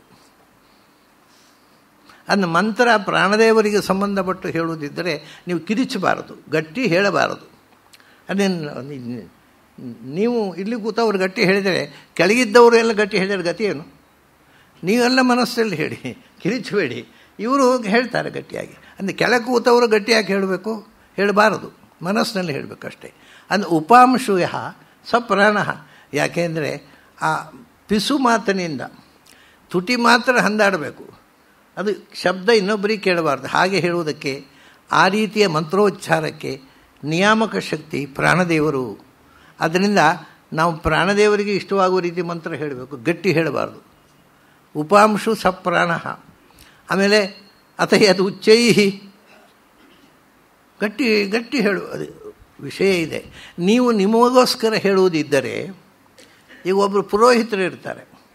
ಪುರೋಹಿತರು ಅವ್ರು ಗಟ್ಟಿ ಹೇಳಬೇಕು. ಯಾಕೆಂದರೆ, ಅವರು ನಿಮಗೋಸ್ಕರ ಹೇಳೋದು, ನಿಮಗೂ ಕೇಳದಂತೆ ಹೇಳಿದರೆ ಅವರು ಹೇಳಿ ಏನು ಉಪಯೋಗ ಸೊ ಇಡೀ ಮನೆ ಶುದ್ಧಿಗೋಸ್ಕರ ಹೇಳ್ತಾರೆ. ಹಾಗೆ ಇಡೀ ಮನೆ ಕೇಳುವಷ್ಟು ಗಟ್ಟಿಯಾಗಿ ಹೇಳಲಿ ಆದರೆ ನೀವು ನಿಮ್ಮ ಸ್ವಂತ ಸಾಧನೆ ಮಾಡುವಾಗ ಮೆಲ್ಲಗೆ ಹೇಳಬೇಕು. ಅದು ಇನ್ನೊಬ್ಬರಿಗೆ, ನಾವು ಹೇಳುವ ಮಂತ್ರ ಇನ್ನೊಬ್ಬರಿಗೆ ಕೇಳುವ ಅಗತ್ಯ ಇಲ್ಲ.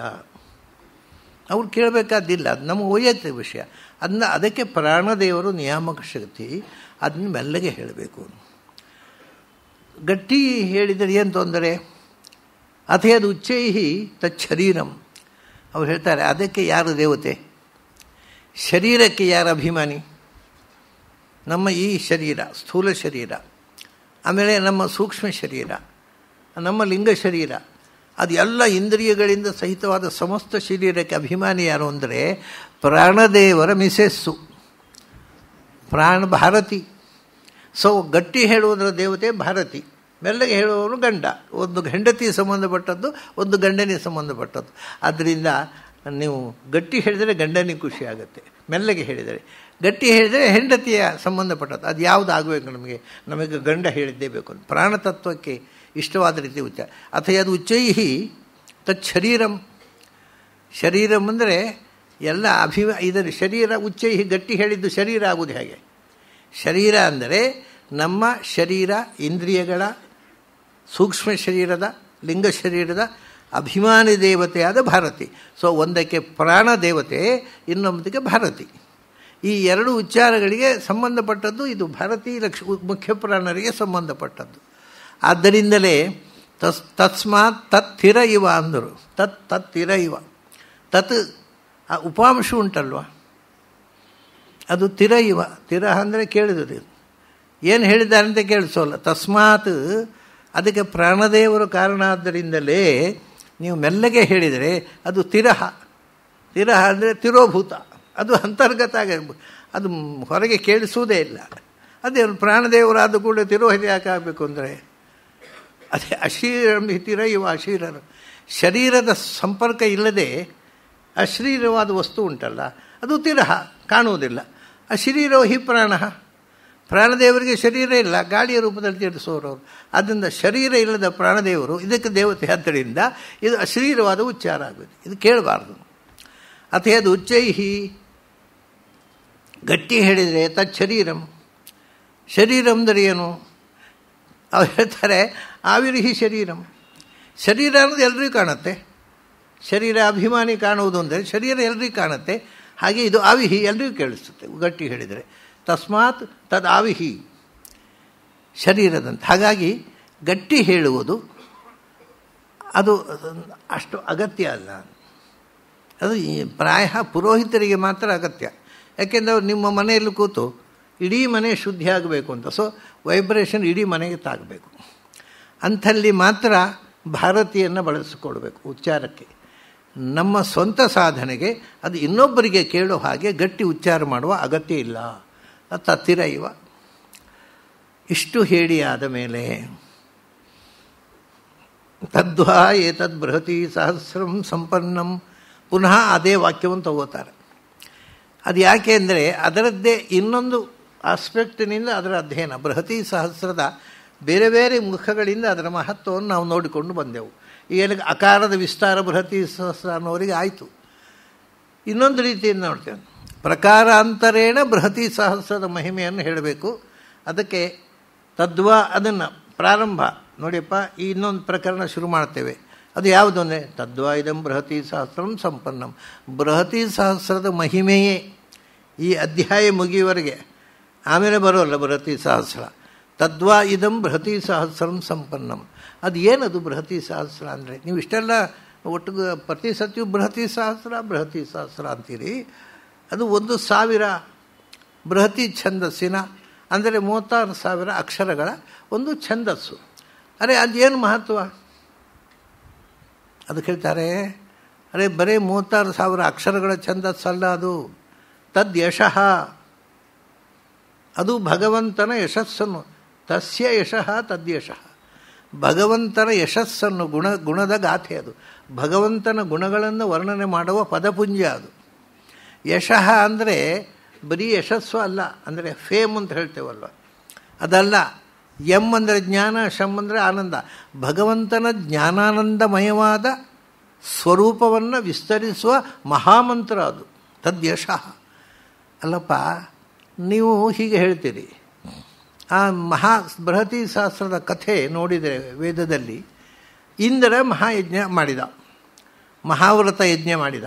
ಮಹಾವ್ರತ ಯಜ್ಞದಲ್ಲಿ ವಿಶ್ವಾಮಿತ್ರರು ಬೃಹತಿ ಸಹಸ್ರವನ್ನು ಪಠಿಸಿದರು. ಅದರಿಂದ ಇಂದ್ರನಿಗೆ ಖುಷಿಯಾಗಿ ಇನ್ನೊಮ್ಮೆ ಹೇಳಿ ಅಂತ ಹೇಳಿದ ಅಂತ. ಹಾಗಾದರೆ ಅದು ಇಂದ್ರನಿಗೆ ಸಂಬಂಧಪಟ್ಟದ್ದು ಭಗವಂತನಿಗೆ ಸಂಬಂಧಪಟ್ಟದ್ದಲ್ಲ. ಇಂದ್ರನ ಯಶೋಗಾಥೆ, ಇಂದ್ರ ಖುಷಿ ಪಡ್ತಾನೆ. ಋಷೇ ದ್ವಿತೀಯಂ ಬ್ರೂಹಿ ಋಷೇ ತೃತೀಯ, ಮೂರು ಸರ್ತಿ ಹೇಳಿಸ್ತಾನೆ ಬೃಹತಿ ಸಹಸ್ರವನ್ನು. ಅದು ಯಜ್ಞದಲ್ಲಿ ಒಂದು ಸರ್ತಿ ಹೇಳಿದರೆ ಸಾಕು. ಇಂದ್ರ ಕೂತಿದ್ದ ಅವನು ಯಜಮಾನ. ಯಜಮಾನ ಈ ಈ ಬೃಹತಿ ಶಾಸ್ತ್ರ ಹೇಳುವವನು ಹೋತೃ. ಋಗ್ವೇದದ ಋತ್ವಿಕ್ಕು ಬೃಹತಿ ಸಹಸ್ರ ಹೇಳುವಾಗ ದ್ವಿತೀಯಂ ಶಂಸ, ತೃತೀಯಂ ಶಂಸ. ಇನ್ನೊಮ್ಮೆ ಹೇಳು ಯಾಕೆಂದರೆ ಪ್ರಾಣೋವಾಹ ಸ್ಪೃಶೆ, ನಾನು, ನಾನೇ ಇಂದ್ರ ಅಂದರೆ ನನಗೆ ಖುಷಿಯಾಗುತ್ತೆ, ಇನ್ನೊಮ್ಮೆ ಹೇಳು ಅಂತಾನೆ. ಹಾಗಾಗಿ ದೇವೇಂದ್ರನಿಗೆ ಸಂಬಂಧಪಟ್ಟದ್ದು ಇದು ನೀವು ಅಕಾರವಾಚ್ಯನಾದ ನಾರಾಯಣನ ಮಂತ್ರ ಅಂತ ಹೇಳ್ತೀರಿ. ಎಲ್ಲಿದೆ ಇದು? ಅಲ್ಲ, ಅಲ್ಲಿ ಏನು ಹೇಳೋದು? ಇಂದ್ರ ಸಂಬಂಧಪಟ್ಟದ್ದು ಹೇಳೋದಲ್ವಾ? ಇಂದ್ರ ಅಂದರೆ ಯಾರು? ಅದು ಮುಂದೆ ತಿಳಿಯೋಣ. ಇಂದ್ರ ಅಂದರೆ ಯಾರು? ಇಂದ್ರ ಶಬ್ದದ ಎಟಿಮೊಲಾಜಿ ಏನು? ಎಟಿಮೊಲಾಜಿಕಲ್ ಮೀನಿಂಗ್ ಹೇಳಿ. ಅದು ಹೇಳಿದ್ರು ಸಹ ಇಂದ್ರ. ಯಾವ ನಾರಾಯಣನ ಯಶಸ್ಸನ್ನು ಈ ಮಂತ್ರ ಹೇಳುತ್ತೋ, ಆ ಭಗವಂತನೇ ಇಂದ್ರ ಶಬ್ದವಾಚ್ಯ. ನಿಜವಾಗಿ ಇಂದ್ರ ಅಂದರೆ, ಹೀಗೆ ನಾನು ಹೇಳಿದಾಗೆ ಅಗ್ನಿಂದರೆ ಬೆಂಕಿ ಅಲ್ಲ, ಭಗವಂತ. ಹಾಗೆ ಇಂದ್ರ ಅಂದರೆ ಸಹ ಇಂದ್ರ ಇಂದ್ರ ಅನ್ನೋದಕ್ಕೆ ಏನರ್ಥ? ಇದಿ ಪರಮೈಶ್ವರಿಯೇ ಧಾತು. ಪರಮೈಶ್ವರ್ಯ ಅಂದರೆ ಸರ್ವಸಮರ್ಥ ಅಂತ ಅರ್ಥ. ಆಮ್ನಿ ಪೊಟೆಂಟ್ ಶುದ್ಧ ಕನ್ನಡದಲ್ಲಿ ಹೇಳೋದಾದರೆ. ಭಗವಂತ ಆಮ್ನಿ ಪೊಟೆಂಟ್ ಅದೇ ಇಂದ್ರ ಆಮ್ನಿಪೊಟೆಂಟ ಇದನ್ನು ಅಲ್ಲ ಅಂತ ಕೃಷ್ಣನೇ ಪುರು ಮಾಡಿ ತೋರಿಸಿದ ಅಲ್ಲ. ಇಂದ್ರನಿಗೆ ಯಾಕೆ ಅನಿಂದ್ರೇಣ? ಇಂದ್ರನಿಗೆ ಏನು ತಾಕತ್ತಿಲ್ಲ, ಅವನಿಗೆ ಯಾಕೆ ಪೂಜೆ ಮಾಡ್ತೀರಿ ಅಂತ ಕೇಳಿದ. ನಂದಗೋಪನ ಹತ್ರ ಕೃಷ್ಣ, ಇಲ್ಲಪ್ಪ, ಮಳೆ ಬರಬೇಕು ಅಲ್ಲ, ಅವನಿಗೆ ಏನು ಶಕ್ತಿ ಇದೆ ಮಳೆ ಕೊಡಲಿಕ್ಕೆ? ಅಂತ ಹೇಳಿಬಿಟ್ಟ ಕೃಷ್ಣ, ಅವನಿಗೆ ಮಳೆ ಕೊಡುವ ಶಕ್ತಿ ಎಲ್ಲಿದೆ? ನಿಮಗೆ ಮಳೆಯನ್ನು ಅನುಭವಿಸುವ ಯೋಗ ಇದ್ದರೆ ಅವನು ಮಳೆ ಕೊಡ್ತಾನೆ. ನಿಮಗೆ ಯಾವ ಯೋಗ ಇದ್ದರೆ ಅವನು ಕೊಡುವ ತಾಕತ್ತು ಎಲ್ಲಿದೆ? ಅಂದರೆ ಅವನು ಸ್ವತಂತ್ರ ಏನೂ ಮಾಡಲಾರ? ಯಾಕೆ ಇಂದ್ರನ ಪೂಜೆ ಮಾಡ್ತೀರಿ? ಸಿಟ್ಟು ಬಂತು ಇಂದ್ರನಿಗೆ. ಮಳೆ ಬರೆಸಿದ. ಸೋತ. ಏಳು ದಿವಸ ಮಳೆ ಬರುತ್ತೆ. ಕಡೆಗೆ ಶರಣಾದ ಕೃಷ್ಣನಿಗೆ. ಅದರಿಂದ ಇಂದ್ರನ ಶಕ್ತಿ ಉಂಟಲ್ಲ, ಅದು ಲಿಮಿಟೆಡ್ಡು ನೀವು ದೇಹದಲ್ಲಿ ತಗೊಂಡ್ರು ನಮ್ಮ ಬಾಹ್ಯೇಂದ್ರಿಯಗಳಿಗೆ ಮಾತ್ರ ಅವನ ದೇವತೆ. ಒಳಗಿಂದ ಅಂತಃಕರಣಕ್ಕೆ ಹೋದರೆ ಮನಸ್ಸು, ಬುದ್ಧಿ, ಅಹಂಕಾರ, ಚಿತ್ತ, ಚೇತನ, ಯಾವುದರ ನಿಯಂತ್ರಣವೂ ಇಂದ್ರನಿಗಿಲ್ಲ. ಅವನು ಬಾಹ್ಯೇಂದ್ರಿಯಗಳ ಇಂದ್ರ. ಹಾಗಾಗಿ ಇಂದ್ರ ಅನ್ನೋದಕ್ಕೆ ನಿಜವಾದ ಅರ್ಥ, ಪರಮೇಶ್ವರ ಆಮ್ನಿಪಟೆಂಟ್ ಸರ್ವಸಮರ್ಥ. ಅದು ಭಗವಂತನೇ ಅಲ್ವಾ? ಹಾಗಾದರೆ ಒಂದು ವಿಷಯ. ನಾವು ನಾವು ಅಮರಕೋಶ ಓದಿ ಬೆಳೆದವರು. ಅಲ್ಲೆಲ್ಲ ಇಂದ್ರನಿಗೆ ಮಹೇಂದ್ರ ಅಂತ ಹೆಸರಿದೆ ಅಲ್ಲ, ಮಹೇಂದ್ರ ಅಂದರೆ ಇಂದ್ರನಿಗಿಂತ ದೊಡ್ಡವನಲ್ವ? ನಿಮ್ಮ ದೇವರು ಇಂದ್ರ. ನಮ್ಮ ಇಂದ್ರ ಮಹೇಂದ್ರ. ಅದನ್ನು ಮಹೇಂದ್ರ ದೊಡ್ಡವನು, ಇಂದ್ರ ದೊಡ್ಡವನು? ಹಾಗೆ ಮಹೇಂದ್ರ ಅಂದ್ರೆ ಏನು ಗೊತ್ತೋ? ಒಂದು ವಿಷಯ ಕೇಳಿ. ಇಂದ್ರ, ಇಂದ್ರರು ಒಟ್ಟಿಗೆ ಹದಿನಾಲ್ಕು ಮನ್ವಂತರಗಳು. ಹದಿನಾಲ್ಕು ಮನ್ವಂತರಗಳಲ್ಲಿ ಒಂದು, ಎರಡು ಮನ್ವಂತರದಲ್ಲಿ ಒಬ್ಬನೇ ಇಂದ್ರ ಇಲ್ಲಿ ಆರು ಮತ್ತು ಏಳು. ಮಂದ್ರದ್ಯುಮ್ನ ಪುರಂದರ, ಒಬ್ಬನೇ ಅವನು. ಹಾಗಾದರೆ ಹದಿಮೂರು ಇಂದ್ರರುಗಳು, ಹದಿನಾಲ್ಕು ಮನ್ವಂತರಗಳಲ್ಲಿ ಒಟ್ಟಿಗೆ ಹದಿಮೂರು ಇಂದ್ರರು. ಆ ಹದಿಮೂರು ಇಂದ್ರರಲ್ಲಿ ಮೊದಲನೆಯ ಮನ್ವಂತರದ ಇಂದ್ರ ಯಾರು ಗೊತ್ತುಂಟ? ಯಜ್ಞನಾಮಕನಾದ ಭಗವಂತನೇ. ಸೊ ಮೊದಲನೆಯ ಇಂದ್ರ ಅವನೇ. ಅವನನ್ನೇ ಇಂದ್ರ ಅಂತ ವೇದ ಹೇಳುತ್ತೆ. ಇವರೆಲ್ಲ ಅನಂತರ ಬಂದವರು. ಅಲ್ಲಪ್ಪ, ಮತ್ತೆ ನೀವು ಮಹೇಂದ್ರ ಅನ್ನೋದಕ್ಕೆ ಏನು ಬಂತು ಗತಿ? ಮಹೇಂದ್ರ ಅಂದರೆ ಮಹಾ ಅಂದರೆ ಏನು? ದೊಡ್ಡವ ಅಂತ ಅರ್ಥ, ಮಹಾನ್. ಇವನು ದೊಡ್ಡವ ಯಾಕೆ ಗೊತ್ತುಂಟಾ ಅದಿತಿಯಲ್ಲಿ ಹನ್ನೆರಡು ಮಕ್ಕಳು ಹುಟ್ಟಿದರು, ದ್ವಾದಶ ಆದಿತ್ಯರು ಅಂತ. ವಿವಸ್ವಾನ್, ಅರ್ಯಮ, ಪೂಷಾ, ತ್ವಷ್ಟಾಥ, ಸವಿತಾ, ಭಗಃ, ಧಾತಾ, ವಿಧಾತ, ವರುಣ, ಮಿತ್ರ, ಶಕ್ರ. ಆಮೇಲೆ ಉರುಕ್ರಮ. ಅಂದರೆ ಇಂದ್ರ ಹನ್ನೆರಡು ಮಕ್ಕಳು ಮಕ್ಕಳಲ್ಲಿ ವಾಮನ ಕೊಡೆ, ಕೊನೆಗೆ ಹುಟ್ಟಿದವನು. ಅವನು ಉಪೇಂದ್ರ. ಅದು ಅದಕ್ಕೆ ಉಪೇಂದ್ರ. ಅವನು ಉಪೇಂದ್ರ, ಇವನು ಮಹೇಂದ್ರ. ಉಪೇಂದ್ರ ಅಂದರೆ, ಉಪ ಅಂದರೆ ಜೂನಿಯರ್ ಅಂತ ಅರ್ಥ ಲೋಕದಲ್ಲಿ. ಅವನು ಜೂನಿಯರ್ ಇಂದ್ರ ಯಾಕೆಂದರೆ ತಮ್ಮ, ಅವನು ಅಣ್ಣ. ಹನ್ನೆರಡು ಮಂದಿ ಆದಿತ್ಯರಲ್ಲಿ, ಆದಿತ್ಯ ಮಕ್ಕಳಲ್ಲಿ, ಇಂದ್ರ ಅಣ್ಣನಾದ್ದರಿಂದ, ಹುಟ್ಟಿನಲ್ಲಿ. ಅವನು ಅಣ್ಣನಾದ್ದರಿಂದ ಮಹೇಂದ್ರ ಆದ, ಇವನು ತಮ್ಮನಾದ್ದರಿಂದ ಉಪೇಂದ್ರ ಆದ ಅವನು ಉಪ ಅಂದರೆ ಜೂನಿಯರು ಅಂತ ಅರ್ಥ. ಆದರೆ ನೀವು ವಾಸ್ತವಿಕವಾಗಿ ಗ್ರಹಣ ಮಾಡಿದರೆ ಉಪ ಅಂದರೆ ಸಂಸ್ಕೃತದಲ್ಲಿ ಉಪ ಅನ್ನೋದಕ್ಕೆ ಅರ್ಥ ಏನು ಹೇಳಿ? ಉಪ ಅಂದರೆ ಉಪರಿ. ಎಲ್ಲಕ್ಕಿಂತ ಮೇಲೆ ಇರುವ ಇಂದ್ರ ಅಂತ ಅರ್ಥ. ಅದು ಮಹೇಂದ್ರ ಅನ್ನೋದಕ್ಕಿಂತ ಮೇಲೆ ಹೋಯ್ತದು. ಹಾಗಾದರೆ ಇಂದ್ರನಿಗೆ ಮಹೇಂದ್ರ ಅಂತ ಹೇಳೋದು ಯಾಕೆ ಅಂದರೆ ಅಣ್ಣನಾಗಿ ಹುಟ್ಟಿದ್ದರಿಂದ. ಅಷ್ಟೇ, ಅವನು ಸೀನಿಯರ್. ಹುಟ್ಟಿನ ಕ್ರಮದಲ್ಲಿ ಸೀನಿಯರ್, ಯೋಗ್ಯತೆಯಲ್ಲಿ ಅಲ್ಲ. ಆದ್ದರಿಂದ ಮಹೇಂದ್ರ ಅಂದರು. ಇನ್ನೊಂದು ಕಾರಣ ಉಂಟು. ಯಾಕೆಂದರೆ ಈ ಉಪನಿಷತ್ನಲ್ಲಿ ಮೊದಲು ಹೇಳಿದ್ದಾರೆ. ಅಥ ಮಹಾವ್ರತಂ ಇಂದ್ರಂ ಹತ್ವಾ ನಮ್ಮ ವೃತ್ರಂ ಹತ್ವಾ, ಇಂದ್ರೋ ಮಹಾನುಭವತ್ ತನ್ಮಹಾವ್ರತಸ್ಯ ಮಹಾವ್ರತತ್ವಂ ಅಂತ ಇಂದ್ರ ವೃತ್ರನನ್ನು ಕೊಂದ. ಕೊಂದ ಮೇಲೆ ಅವನಿಗೊಂಚೂರು ಮನಸ್ಸಿಗೆ ಖೇದ ಆಯಿತು ನಮ್ಮ ಪುರೋಹಿತರ ಮಗ ಅವ. ಅವನೇ ಕೊಂದುಬಿಟ್ಟಲ್ಲ ಅಂತ. ಅವನಿಗೆ ಮನಸ್ಸಿಗೆ. ಬಟ್ ಅವನಿಗೇನು ಪಾಪ ಬರಲಿಲ್ಲ. ಆದರೆ ಅವನ ಮನಸ್ಸಿಗೆ ಗಿಲ್ಟಿ, ನಾನು ಪುರೋಹಿತರ ಮಗನನ್ನು ಕೊಂದುಬಿಟ್ಟೆ ಅಲ್ಲ ಅಂತ.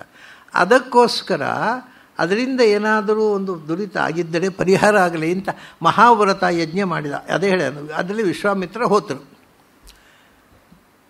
ಮಹಾವ್ರತ ಯಜ್ಞ ಮಾಡಿದ ಮೇಲೆ ಅವನಿಗೆ ಮಹೇಂದ್ರ ಅಂತ ಹೆಸರು ಬಂದದ್ದು ಇಷ್ಟೇ. ಮಹೇಂದ್ರ ಅಂದರೆ ಮಹಾವ್ರತ ಯಜ್ಞ ಮಾಡಿದ ಇಂದ್ರ. ಸೊ ಮಹೇಂದ್ರ ಅಂತ ಹೇಳಿದವರು ನೀವೇನು ಗಾಬರಿ ಆಗಬೇಡಿ. ಅವನು ಭಗವಂತನಿಗಿಂತಲೂ ಮೇಲೆ ಇರುವುದರಿಂದ ಮಹೇಂದ್ರ ಅಲ್ಲ. ಮಹಾವ್ರತ ಯಜ್ಞ ಮಾಡಿದ ಮಹೇಂದ್ರ, ಆಮೇಲೆ ಸೀನಿಯರ್ ಹುಟ್ಟಿನಲ್ಲಿ ಅಣ್ಣ ಆದ್ದರಿಂದ ಮಹೇಂದ್ರ. ಅದು ಇಂದ್ರ ಅಂದರೆ ಭಗವಂತನ, ಸ ಇಂದ್ರ ಯಾಕೆ ಅಂದರೆ ಸಭೂತಾನಾಂ ಅಧಿಪತಿ ಸಮಸ್ತ ಭೂತಗಳಿಗೆ, ಆ ಬ್ರಹ್ಮ ಸ್ತಂಭ ಪರ್ಯಂತಂ ಚತುರ್ಮುಖನಿಂದ ಹಿಡಿದು ಒಂದು ಸಣ್ಣ ಹುಳು ಹುಪ್ಪಟೆ ತನಕ ಎಷ್ಟು ಜೀವಜಾತಗಳಿವೆ. ಭೂತ ಅಂದರೆ ಜೀವಜಾತಗಳು. ಎಷ್ಟು ಜೀವರಾಶಿಗಳಿವೆ. ಅದೆಲ್ಲಕ್ಕೂ ಅಧಿಪತಿ ಇಂದ್ರ ಅಲ್ಲ. ಭಗವಂತ ಸಭೂತಾನಾಂ ಅಧಿಪತಿ. ಆದ್ದರಿಂದ ಸಯ ಏವಮೇತಂ ಇಂದ್ರಂ ಭೂತಾನಾಂ ಅಧಿಪತಿಂ ವೇದ. ಯಾರು ಇದನ್ನು ತಿಳಿತಾನೆ? ಇಂದ್ರ ಅಂದರೆ ಭಗವಂತ, ನಾರಾಯಣ. ಅವನೇ ಸ ಬೃಹತಿ ಸಹಸ್ರ ಪ್ರತಿಪಾದ್ಯ. ಅವನೇ ನಿಜವಾದ ಇಂದ್ರ ಅಂತ ಯಾರು ತಿಳಿತಾನೆ? ಅವನೇ ಭೂತಾನಾಂ ಅಧಿಪತಿ. ಸಮಸ್ತ ಪ್ರಾಣಿಗಳಿಗೆ ಒಡೆಯ. ಅವನನ್ನು ಮೀರಿದ ಇನ್ನೊಂದು ವಸ್ತು ಇಲ್ಲ. ಅದು ಸರ್ವೋತ್ಕೃಷ್ಟವಾದ, ಸರ್ವಸಮರ್ಥವಾದ ಶಕ್ತಿ ಅಂತ ಯಾರು ತಿಳಿತಾನೆ? ಹಾಗೆ ತಿಳಿದಾಗ ಏನು ಅಂದರೆ ಹೇಳ್ತಾರೆ ಅವರು, ಹಾಗೆ ತಿಳಿದಾಗ, ವಿಸ್ರಸಾಹೈವ ಅಸ್ಮಾಲ್ಲೋಕಾತ್ ಪ್ರೈತೀತಿ ಇತಿಹಸ್ಮಾಹ ಮಹಿದಾಸ ಐತರೇಯ ಅವನು ಏನಾಗ್ತಾನೆ ಗೊತ್ತಾ? ಹಾಗೆ ತಿಳ್ಕೊಂಡವ, ವೇದ ವಿಸ್ರಸಾಹ ಅಸ್ಮಾಲ್ ಲೋಕಾತ್. ಈ ಲೋಕದಿಂದ ಬಿಡುಗಡೆಗೊಂಡು ವಿಸ್ರಸ ಅನ್ನುವ ಶಬ್ದ, ಅದು ಖಚಿತವಾಗಿ ಅದರ ರೂಪ ಏನು ಅನ್ನೋದು, ಅದು ವೈದಿಕ ಶಬ್ದ, ಅದು ಹೇಗೆ ನಡೆಸುವುದು ಅನ್ನೋದು. ವಿಸ್ರಸ ಅಂದರೆ ಕೆಲವರು ವಿಸ್ರಸ, ವಿಸ್ರಸೇ ವಿಸ್ರಸಾಹ, ವಿಸ್ರಸ ಅಂದರೆ ಮುಪ್ಪು. ಅಂದರೆ ಎಲ್ಲ ಕದಲಿ ಹೋಗ್ಬೋದು. ವಿಸ್ರಸ ಅಂದರೆ ಮುಪ್ಪು, ಅದು ತೃತೀಯ ವಿಭಕ್ತಿ ಅರ್ಥದಲ್ಲಿ ಬಂದ ಪ್ರಥಮ ವಿಭಕ್ತಿ ಅಂತ ಕೆಲವರು ಹೇಳ್ತಾರೆ. ಕೆಲವರು ವಿಸ್ರಸ್ಯ ಎಲ್ಲವನ್ನು ಕಳ್ಕೊಂಡು, ಅದರಿಂದ ಕಳಚಿಕೊಂಡು ಅಂತ. ವಿಸ್ರಸ್ಯ ಅನ್ನುವಂಥ ವಿಸ, ಅಥವಾ ವಿಸ್ರಸ ಅಂದರೆ ಎಲ್ಲವನ್ನು ಕಳ್ಕೊಂಡವನು. ಹೀಗೆ ಅನೇಕ ವಿಧವಾದ ಅರ್ಥಗಳು ಪರಂಪರೆಯಲ್ಲಿವೆ. ಅದು ಒಟ್ಟಿನಲ್ಲಿ ಆ ಶಬ್ದದ ರೂಪ ಏನು ಅಂತ ಸ್ಪಷ್ಟ ಆಗೋದಲ್ಲ. ವಿಸ್ರಸ ಅಂದರೆ ಕಳಚಿಕೊಂಡು ಅಂತ ಇಟ್ಟುಕೊಳ್ಳಿ ಈಗ ಸದ್ಯಕ್ಕೆ. ಏನನ್ನು? ಅಸ್ಮಾನ್ ಅಥವಾ ವಿಸ್ರಸ ಈ ಪ್ರಪಂಚದ ಬಂಧನದಿಂದ ಕಳಚಿಕೊಂಡು ಈ ಬೃಹತಿ ಸಹಸ್ರ, ಓಂಕಾರದ ವಿಸ್ತಾರ, ಅಕಾರದ ವಿಸ್ತಾರ ಅಂತ ತಿಳ್ಕೊಂಡು ಬೃಹತಿ ಸಹಸ್ರದ ಒಂದೊಂದು ಮಂತ್ರವನ್ನು ಭಗವತ್ಪರವಾಗಿ ಅನುಸಂಧಾನ ಮಾಡಿದರೆ ವಿಸ್ರಸಾಹ ಅಸ್, ಹೈವ ಅಸ್ಮಾನ್ ಲೋಕಾತ್. ಈ ಪ್ರಪಂಚದ ಬಂಧನದಿಂದ ಬಳಿ, ಕಳಚಿಕೊಂಡು, ಅಷ್ಟೇ ಅಲ್ಲ, ಅಸ್ಮಾಲ್ ಲೋಕಾತ್, ಲೋಕ ಅಂದರೆ ಶರೀರವೂ ಹೌದು. ಈ ದೇಹದ ಬಂಧನದಿಂದ ಕಳಚಿಕೊಂಡು ಏನಾಗ್ತಾನೆ? ಪ್ರೈತಿ. ಅಲ್ಲ, ದೇ ಆಮೇಲೆ ಏನಾದ್ರೆ, ಪ್ರೈತಿ ಸಾಯ್ತಾನೆ. ಅಲ್ರಿ ಸಾಯಲಿಕ್ಕೆ ಬೃಹತಿ ಸಹಸ್ರ ಓದಬೇಕಾ? ಬೃಹತಿ ಸಹಸ್ರ ಓದಿದ್ರೂ ಸಾಯ್ತಾನೆ. ಪ್ರೈತಿ ಅಂದರೆ ಸಾಯ್ತಾನೆ ಅಂತ. ಸಂಸ್ಕೃತದಲ್ಲಿ ಪ್ರೈತಿ ಅಂದರೆ ಸಾಯ್ತಾನೆ ಅಂತ ಅರ್ಥ ಅಲ್ಲ. ಅದನ್ನು ಅವನು ಪ್ರೈತಿಯಿಂದ ಸಾಯ್ತಾನೆ, ಪ್ರೇತ ಅಂದರೆ ಸತ್ತ ಜೀವ ಇದೆಲ್ಲ ಕನ್ನಡದ ಸಂಸ್ಕೃತ. ಸಂಸ್ಕೃತದಲ್ಲಿ ಪ್ರೈತಿ ಅಂದರೆ ಪ್ರ ಏತಿ. ಪ್ರ ಅಂದರೆ ಭಗವಂತ. ಅಕಯ ಪ್ರವಿ ಸಂಭೂಮ ಸಖಹಾಹ ವಿಷ್ಣುವಾಚಕ. ಭಗವಂತನನ್ನು ಹೋಗಿ ಸೇರ್ತಾನೆ ಅಂತ ಅರ್ಥ. ಅಂದರೆ ಮುಕ್ತನಾಗುತ್ತಾನೆ, ಬರೀ ಸಾಯೋದಲ್ಲ. ಮತ್ತೆ ಹುಟ್ಟದಂತೆ ಸಾಯ್ತಾನೆ. ಪ್ರೈತಿ. ಅದು ಏ, ಯಾರು ಹೇಳಿದ್ದು? ಇತಿಹಾಸ್ಮಾಹ ಮಹಿದಾಸು, ಮಹಿದಾಸಃ ಐತರ್ಯ. ಇದನ್ನು ಹೇಳಿದವ ಯಾರು ಗೊತ್ತಾ? ಮಹಿದಾಸ ನಾಮಕನಾದ ಭಗವಂತನ ಐತರೇಯ ರೂಪ. ಅವನು ಐತರೇಯನೇ ಹೇಳೋದು. ಇದು ಹೇಳ್ತಾ ಇರುವುದು ನಾನು ಐತರೇಯ ಅಲ್ರಿ? ಇಡೀ ಉಪನಿಷತ್ತೆ ಐತರೆ ಹೇಳಿದೆ. ಇಲ್ಲಿ ಮಾತು ಇತಿಹಾಸ್ಮಹ ಏನು ಮುಂದಿನ ವಾಕ್ಯವು ಐತರೇಯನೇ ಹೇಳೋದಲ್ವ? ಹಿಂದಿನದ್ದು ಇತಿಹಾಸ್ಮಹ ಮತ್ತು ಇಲ್ಲಿ ಮಾತ್ರ ಹೇಳೋದೇನು? ಅದು ನಮಗೆ ಭರವಸೆ ಹುಟ್ಟುವುದಕ್ಕೋಸ್ಕರ ಹೇಳುವಂಥದ್ದು. ಐತರೆಯ ಹೇಳಿದ್ದು, ನೀವು ಸಂಶಯ ಪಡಬೇಕಾಗಿಲ್ಲ. ನ ಸಂಶಯ. ಇದು ಐತರೆಯನ ಮಾತು ನೀವು ನಂಬಬಹುದು ಅಂತ ಭರವಸೆ ತುಂಬುವುದಕ್ಕೋಸ್ಕರ. ಯಾವಾಗಲೂ ಪರೋಕ್ಷವಾಗಿ ಹೇಳೋದು ಹಾಗೆ. ಈಗ ಮಹಾಭಾರತದ ಒಂದು ಕಥೆ ಬರುತ್ತೆ. ಏನು ಅಂದರೆ ದ್ರೋಣಾಚಾರ್ಯರು ಭೀಮ ಯುದ್ಧರಾಗ್ತಾರೆ ಯುದ್ಧರಂಗದಲ್ಲಿ. ಆವಾಗ ದ್ರೋಣಾಚಾರ್ಯರೇ ಸ್ವಲ್ಪ ಎಚ್ಚರದಲ್ಲಿರಿ. ನಿಮ್ಮ ಎದುರು ನಿಂತಿರುವವನು ಭೀಮಸೇನ ಅಂತ ನಾನು ಅಂತ ಹೇಳೋಲ್ಲ. ನಿಮ್ಮ ಎದುರು ನಿಂತಿರುವವನು ಭೀಮ ಅದಕ್ಕೆ ಒತ್ತೇ ಜಾಸ್ತಿ ಫೋರ್ಸು ನೀವು ಇಂಡೈರೆಕ್ಟಾಗಿ ಹೇಳಿರೋ ಫೋರ್ಸು ನಿಮ್ಮ ಎದುರು ನಾನು ನಿಂತಿರೋದು ಅಂದರೆ ಏನು? ಜೋಳ ಜೋಳ. ಅದು ನಿಮ್ಮ ಎದುರು ನಿಂತಿರುವವನು ಭೀಮಸೇನ ಅಂತ ಅವನೇ ಹೇಳೋದು. ಹಾಗೆ ಮಹಿದಾಸ ಹೇಳ್ತಾನೆ ಅನ್ನುವ ಆ ಪರೋಕ್ಷ ಇಂಡೈರೆಕ್ಟ್ ಸ್ಪೀಚ್ ತುಂಬ ಸ್ಟ್ರೆಸ್ ಕೊಡುತ್ತೆ. ಅದು ಆ ಮಾತಿಗೆ ಒತ್ತು ಕೊಡುತ್ತೆ. ಹಾಗೆ ಬಹಳ ಉತ್ಕೃಷ್ಟವಾದಂಥ ಮಾತಿದು ಅಂತ. ಈಗ ಒಂದು ದೊಡ್ಡ ಸಮಸ್ಯೆ ಪ್ರಾಚೀನರಿಗೆ. ಭಗವಂತನಿಗೆ ಎಲ್ಲ ಸುಖಗಳು ಇದೆ ಅಂತ ಹೇಳೋದಲ್ವ ನೀವು? ಆದರೆ ನೀವು ಸಂಸಾರ ಸುಖವೇ ಇಲ್ವಲ್ಲ? ಅಲ್ಲರಿ ಹೆಂಡತಿ ಇದ್ದಾಳೆ ಲಕ್ಷ್ಮಿ, ನೀವು ಸ್ವರಮಣ ಅಂತೀರಿ. ಲಕ್ಷ್ಮಿ ಹೆಂಡತಿಯಿಂದ ಲಕ್ಷ್ಮಿಗೆ ಆನಂದ ಕೊಡ್ತಾನೆ. ಲಕ್ಷ್ಮಿಯಿಂದ ಆನಂದ ಪಡೆಯೋಲ್ಲ ಅಂತೀರಿ. ಹಾಗಾದ್ರೆ ಅವನಿಗೆ ಸಂಸಾರ ಸುಖ ಇಲ್ಲ ಅಂತ ಆಯ್ತಲ್ಲ. ನಮಗೆಲ್ಲರಿಗಿರುವ ಸಂಸಾರ ಸುಖವೇ, ನಿಮ್ಮ ದೇವರಿಗಿಲ್ಲ ಅವನೇನು ಅನಂತ ಸುಖ? ದೊಡ್ಡ ಸಮಸ್ಯೆ ಪ್ರಾಚೀನ ಋಷಿಗಳಿಗೆ. ದೇವರು ಇನ್ನೊಬ್ಬರಿಂದ ಸುಖ ಪಡೆಯೋಲ್ಲ. ಆದ್ದರಿಂದ ಈಗ ಸಂಸಾರ ಸುಖ ಅಂದರೆ ಒಬ್ಬರಿಂದ ಒಬ್ಬರು ಪಡೆಯೋದು. ಗಂಡ ಹೆಂಡತಿಯಿಂದ ಸುಖ ಪಡಿತಾನೆ, ಹೆಂಡತಿ ಗಂಡನಿಂದ. ಭಗವಂತ ಯಾರಿಂದ ಸುಖ ಪಡಿತಾನೆ? ಏ, ಹೆಂಡತಿಯಿಂದ. ಹೆಂಡತಿ ಸುಖ ಪಡೆಯೋಲ್ಲ ಅವನು. ಅವನು ಸ್ವರವಣ ಅವನು ಇನ್ನೊಬ್ಬರಿಂದ ಸುಖ ಪಡೆಯೋಲ್ಲ. ಹಾಗಾದರೆ ಎಲ್ಲ ಮನುಷ್ಯರ ಅಪೇಕ್ಷಣೀಯವಾದ ಸಂಸಾರ ಸುಖ ನಿಮ್ಮ ದೇವರಿಗಿಲ್ಲ. ಮತ್ತು ಹಾಗಾದರೆ ಅನಂತ ಸುಖ? ಹೇಗೆ ಅನಂತ ಸುಖ ಅವನು? ಇಂಪಾರ್ಟೆಂಟ್ ಸುಖವೇ ಇಲ್ಲ ಸ್ವಾಮಿ, ನಮಗಿರೋ ಸುಖ ಅವನಿಗಿಲ್ಲ. ಬೇಕಾದ್ರೆ ಸನ್ಯಾಸಿಗಳಿಂತ ವಾಸಿ ಅಂತ ಹೇಳ್ಬೋದು ಅಷ್ಟೇ ದ ಗೃಹಸ್ಥರು ಸುಖ ಅವನಿಗಿಲ್ಲವಲ್ಲ. ಅಂತ ಒಂದು ಪ್ರಶ್ನೆ.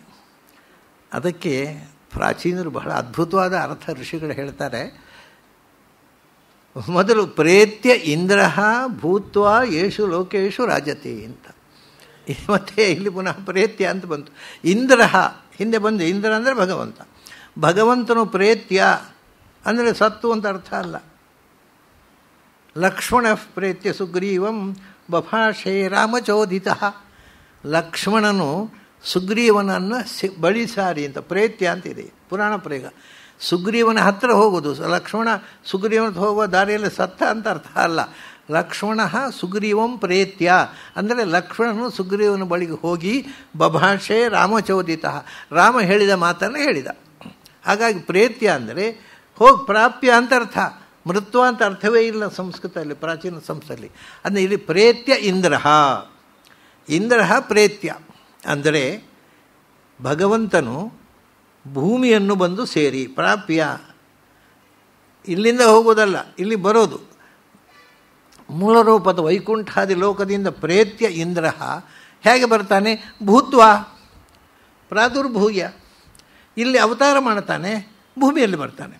ಸೊ ಭಗವಂತ ತನ್ನ ಮೂಲ ರೂಪದಿಂದ ಹೊರಟು ಬಂದು ಭೂಮಿಯಲ್ಲಿ ಅವತಾರ ರೂಪಗಳಿಂದ ಕಾಣಿಸಿಕೊಳ್ಳುತ್ತಾನೆ. ಇದು ಒಂದು ಉತ್ತರ ಆಯಿತು ಇಲ್ಲಿ. ನೋಡಿಯಪ್ಪ, ಭಗವಂತ ಅವನು ಅವತಾರ ರೂಪದಲ್ಲಿ ಒಂದು ನಾಟಕಕ್ಕಾದರೂ ಇವನಿಗೆ ಹದಿನಾರು ಸಾವಿರದ ನೂರೆಂಟು ಜನ ಹೆಣ್ಣಂದರಿದ್ದಾರಲ್ಲ ಕೃಷ್ಣನಲ್ಲಿ. ನೀವು ಸಂಸಾರ ಸುಖ ಇಲ್ಲ ಅಂದೇನು ಸ್ವಾಮಿ? ಒಂದು ಹದಿನಾರು ಸಾವಿರದ ನೂರ ಎಂಟು ಜನ ಇದ್ದಾರೆ. ಅದಲ್ಲ. ಅಲ್ಲಿ ಅವನು, ಅವನಿಗೆ ಯಾರ ಅಗತ್ಯವೂ ಇಲ್ಲ. ಅವನ ಆತ್ಮಾನಂದ. ಆದ್ದರಿಂದ ಅವನು ಹೇಳ್ತಾರೆ, ಯೇಷು ಲೋಕೇಶು ರಾಜತಿ. ಇಷ್ಟು ವಿಷಯ ಗೊತ್ತಿದೆ ನಮಗೆ. ಈ ಲೋಕಗಳಲ್ಲಿ, ಭೂಲೋಕದಲ್ಲಿ ಅನೇಕ ರೂಪಗಳಿಂದ, ರೂಪಗಳನ್ನು ತೊಟ್ಟು ಭೂಮಿಯಲ್ಲಿ ವಿರಾಜಿಸ್ತಾನೆ ಭಗವಂತ. ಇಷ್ಟು ಗೊತ್ತಲ್ವಾ? ಅದರಲ್ಲಿ ಒಂದು ಮಹಿ ಮಹಿದಾ ಸ್ವರೂಪವೇ ಅದು ಅವತಾರ ರೂಪ ಒಂದು. ಅದು ಇಲ್ಲಿ ಪ್ರಸಕ್ತವಾದ್ದು. ಅವನು ಹೇಳ್ತಾರೆ, ಹೌದು, ಅವನು ಅವತಾರ ಮಾಡಿಕೊಂಡು ಭೂಮಿಯಲ್ಲಿ ಬರ್ತಾನೆ, ಮೂಲ ರೂಪದಲ್ಲಿ ಇರ್ತಾನೆ. ತದಾಹು ಋಷಿಗಳಿಗೆ ಪ್ರಶ್ನೆ ಬಂದು ಅವ್ರನ್ನ ಪ್ರಶ್ನೆ ಹಾಕ್ತಾರೆ ಋಷಿಗಳು. ಏನು? ಏನು ಅಂದರೆ, ಯದನೇನ ರೂಪೇಣ ಅಮುಂ ಲೋಕಂ ಅಭಿ ಸಂಭಿಷಂತೀತಿ. ಅಭಿಸಂಭಿಷಂತಿ, ಅದು ಒಂದು ವೈದಿಕ ಉಚ್ಚಾರ ಅದು. ಅಭಿಸಂಭಿಷಂತೀ. ಅಲ್ಲಿ ತೀ ಅಂತ ಹೇಳಬೇಕು. ತೀ ಅಲ್ಲ, ಅದು ಅನುನಾಸಿಕ. ಇದು ಅನೇನ ರೂಪೇ, ಅನೇನ ರೂಪೇಣ ಅಮುಂ ಲೋಕಂ ಅಭಿಸಂಭಿಷಂತೀ. ಅದು ಅದು ರಂಗಸ್ವರ, ಅನುನಾಸಿಕ ರಂಗಸ್ವರ. ಆಮೇಲೆ ಅಥ ಕೇನ ರೂಪೇಣ ಇಮಂ ಲೋಕಂ ಆಭವತಿ. ಈ ಈ ಈ ಅಂತ ಎಡಿತಾರಲ್ಲ, ಅದು ಕ್ವಶನ್ ಮಾರ್ಕ್ ಅದು. ನಾವು ಮಾತಾಡುವಾಗಲೇ ಅನೇನ ರೂಪೇಣ ಅಭಿಸಂವಿಶಂತಿ. ಕೇನ ಅಥ ಯದ ಅನೇನ ರೂಪೇಣ ಅಮುಂ ಲೋಕಂ ಅಭಿಸಂವಿಶಂತಿ. ಅಭಿಸಂವಿಶತಿ ಅಥವಾ ಕೇನ ಇಮಂ ರೂಪಂ, ಕೇನ ಲೋಕೇನ ಅಭಿಸಂವಿಶ ಅಭಿ ವಿಶತಿ ಭಗವಂತ ಈ ಲೋಕದಲ್ಲಿರ್ತಕ್ಕ ಭಗವಂತ ಮತ್ತು ಈ ಲೋಕದಲ್ಲಿಂದರೆ ಅವತಾರ ರೂಪದಲ್ಲಿರ್ತಕ್ಕ ಭಗವಂತ. ತುಂಬ ಕ್ಲಿಷ್ಟವಾದ ಸಂಗತಿಗಳಿವಲ್ಲ, ಋಷಿಗಳ ಒಂದು ವಿಚಿತ್ರವಾದ ಕಲ್ಪನೆಗಳು. ಈ ಈ ಮಂತ್ರಗಳನ್ನೆಲ್ಲ ಬೇರೆ ಸಾಮಾನ್ಯವಾದ ವ್ಯಾಖ್ಯಾನಕಾರರೆಲ್ಲ ಏನು ಹೇಳ್ತಾರೆ ಅಂದರೆ, ಇದು ಹೆಣ್ಣು ಗಂಡಿನ ಸಮಾಗಮದ ವರ್ಣನೆ ಅಂತ. ಅಲ್ಲ, ವೇದ ಹೇಳಬೇಕು ಅದನ್ನು. ನಾವು ವೇದ ಓದೋದು ಹೆಣ್ಣು ಗಂಡಿನ ಸಮಾಗಮ ಹೇಗಾಗುತ್ತೆ ಅಂತ ತಿಳ್ಕೊಳ್ಳಿಕ್ಕೆ. ಅದರಲ್ಲಿ ವೇದ ಓದಿದ್ರೂ ಆಗತ್ತೆ, ನಾಯಿಗಳು ಸಮಾಗಮ ಮಾಡ್ತವೆ. ಅದನ್ನು ವೇದ ಯಾಕೆ ಹೇಳಬೇಕು? ಇದು ಬೃಹತಿ ಸಹಸ್ರದ ವರ್ಣನೆ ಎಂದರೆ ಇದು ಭಗವಂತನಿಗೆ ಸಂಬಂಧಪಟ್ಟದ್ದು ಇರಬೇಕು. ಬರೀ ಯಾವುದೋ ಹೆಣ್ಣು ಗಂಡು ಅಲ್ಲ, ಅದಕ್ಕೆ ಅವನು ಕೇಳೋದು. ಭಗವಂತ ಭೂಮಿಯಲ್ಲಿ ಇರ್ತಕ್ಕ ಭಗವಂತ, ಸ್ವರ್ಗದಲ್ಲಿ ಇರ್ತಕ್ಕ ಭಗವಂತನ ಜೊತೆಗೆ ಸಮಾಗಮ ಹೊಂದುತ್ತಾನೆ. ಹೌದಾ? ಅಂತ ಕೇಳ್ತಾರೆ ಪ್ರಶ್ನೆ. ಅಂದರೆ ಅದು ಎಂಥೊಂದು ಮತ್ತೆ? ಭೂಮಿಯಲ್ಲಿರ್ತಕ್ಕ ಭಗವಂತ, ಸ್ವರ್ಗದಲ್ಲಿರ್ತಕ್ಕ ಭಗವಂತನನ್ನು ಸೇರ್ತಾನೋ? ಹಾಗೆಯೇ ಕೇನ ರೂಪೇಣ? ಇಮಂ ಲೋಕಂ ಆಭವತಿ. ಹಾಂ, ಮತ್ತು ಅಲ್ಲಿ ಇರತಕ್ಕ ಭಗವಂತ ಇಲ್ಲಿ ಇರತಕ್ಕ ಭಗವಂತನ ಸಮಾಗಮ ಮಾಡ್ತಾನೋ? ವಿಷಯ ಏನು ಇದು ಪ್ರಶ್ನೆ. ಅಂದರೆ ಭಗವಂತನಿಗೆ ಸ್ತ್ರೀ ಪುಂ ಸಮಾಗಮ ಉಂಟೋ? ಅವನು ಹೆಣ್ಣು ಗಂಡಿನ ಸಮಾಗಮದಂಥ ಒಂದು ಸ್ಥಿತಿ ಭಗವಂತನಿಗೆ ಉಂಟೋ. ಇದ್ದರೆ ಆಕಾಶದ ಮೂಲ ರೂಪದಲ್ಲಿರ್ತಕ್ಕ ಭಗವಂತ ಯಾರೊಡನೆ ಸಮಾಗಮ ಮಾಡ್ತಾನೆ? ಭೂಮಿಯಲ್ಲಿರ್ತಕ್ಕ ಭಗವಂತ ಯಾರೊಡನೆ ಸಮಾಗಮ ಮಾಡುತ್ತಾನೆ ಅದರ ಅಲ್ಲಿ ಜೊತೆಗೆ ಅವರು ಹೇಳ್ತಾರೆ, ಭಗವಂತ, ನೀವು ಯೋಚನೆ ಮಾಡಿ. ಭಗವಂತ ಎಲ್ಲರಲ್ಲೂ ಇದ್ದಾನಲ್ವ? ಭಗವಂತ ಎಲ್ಲರಲ್ಲೂ ಇದ್ದರೆ ಗಂಡಸರಲ್ಲೂ ಇದ್ದಾನೆ, ಹೆಂಗಸರಲ್ಲೂ ಇದ್ದಾನೆ ಅಲ್ವ ಹಾಂ ಹೆಂಗಸರಲ್ಲಿ ಹೇಗಿದ್ದಾನೆ? ಸ್ತ್ರೀ ರೂಪದಿಂದ ಇದ್ದಾನೆ. ಸ್ತ್ರೀಯರಲ್ಲಿ ಸ್ತ್ರೀ ರೂಪದಿಂದ ಇರುವುದರಿಂದಲೇ ಅವರಿಗೆ ಸ್ತ್ರೀತ್ವ. ಭಗವಂತ ಸ್ತ್ರೀ ರೂಪದಿಂದ ಇದ್ದಾನೆ ಹೆಣ್ಮಕ್ಕಳಲ್ಲಿ ಪುರುಷ ರೂಪದಿಂದ ಇದ್ದಾನೆ ಪುರುಷರಲ್ಲಿ. ಹಾಗಾಗಿ ಅವರು ಹೇಳ್ತಾರೆ, ನೋಡಪ್ಪ ಸ್ತ್ರೀ ಪುರುಷರು ಸಮಾಗಮ ಮಾಡುವುದು ಅಂದರೆ ಅವರೊಳಗಿರ್ತಕ್ಕ ಭಗವಂತ ತನ್ನದೇ ಒಂದು ರೂಪದಿಂದ ಇನ್ನೊಂದು ರೂಪದ ಜೊತೆ ಸಮಾಗಮ. ಸ್ತ್ರೀಯರ ಒಳಗಿರ್ತಕ್ಕ ಸ್ತ್ರೀ ರೂಪದ ಭಗವಂತ, ಪುರುಷರ ಒಳಗಿರುವ ಪುರುಷ ರೂಪದ ಭಗವಂತನ ಸಮಾಗಮ, ಇದು ಅವರ ದೈವಿ ಸಂಗಮ. ಹೊರಗಿನ ನೋಟಕ್ಕೆ ಹೆಣ್ಣು ಗಂಡು ಒಟ್ಟಾದರು ಅಂತ. ಆದರೆ ಹೆಣ್ಣಿನ ಒಳಗಿರುವ ಭಗವಂತ, ಅವನು ಸ್ತ್ರೀ ರೂಪ. ಅವನು ಗಂಡಿನ ಒಳಗಿರುವ ಗಂಡಿ ಪುರುಷ ರೂಪನಾದ ಭಗವಂತ, ಅವರ ಸಮಾಗಮ ಅಲ್ವಾ ಅದು? ಅವರ ಸಮಾಗಮ ಅಲ್ಲದೇ ಇದ್ದರೆ ಹೆಣ್ಣು ಗಂಡು ಆ ಸಮಾಗಮದಿಂದ ಅಷ್ಟು ಸುಖ ಯಾಕೆ ಪಟ್ಟರು ಯಾವುದರಿಂದಲೂ ಬಾರದ ಸುಖ ಯಾಕೆ ಬಂತದು? ಅಲ್ಲಿ ಭಗವಂತ ಕೂತಿದ್ದಾನೆ. ಎಲ್ಲಿ? ಬಹಳ ಅದ್ಭುತ ಹೇಳ್ತಾರೆ. ಈ ಶುಕ್ರ ಶೋಣಿತ ಉಂಟಲ್ಲ. ಗಂಡಸಿನ ಶುಕ್ರ, ಹೆಣ್ಣಿನ ಶೋಣಿತ. ಶುಕ್ರದಲ್ಲಿ ಪುರುಷ ರೂಪದಿಂದ ಭಗವಂತ ಇದ್ದಾನೆ.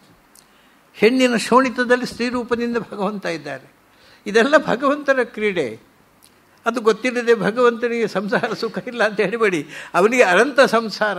ನಮಗೆ ಒಂದೇ ಗಂಡು, ಒಂದೇ ಹೆಣ್ಣು. ಅಂದರೆ ಕೆಲವರಿಗೆ ಬೇರೆ ಇರ್ಬೋದು. ಸಾಮಾನ್ಯವಾಗಿ. ಸಾಮಾನ್ಯವಾಗಿ ಒಬ್ಬರಿಗೆ ಒಂದೇ ಗಂಡು, ಒಂದೇ ಹೆಣ್ಣು. ಅವನಿಗೆ ಹಾಗಲ್ಲ. ಜಗತ್ತಿನ ಎಲ್ಲ ಹೆಣ್ಣುಗಳು ಒಳಗಿರುವವನು ಅವನು. ಎಲ್ಲ ಗಂಡಿನ ಒಳಗಿರುವವನು ಅವನು. ಹಾಗಾಗಿ ಎಲ್ಲ ಹೆಣ್ಣಿನ ಒಳಗಿರುವ ಸ್ತ್ರೀ ರೂಪದ ಭಗವಂತ, ಎಲ್ಲ ಗಂಡಿನ ಒಳಗಿರುವ ಪುರುಷ ರೂಪದ ಭಗವಂತ, ಅವರ ಸಮಾಗಮವೇ ಸ್ತ್ರೀ ಪುರುಷರ ಸಮಾಗಮ.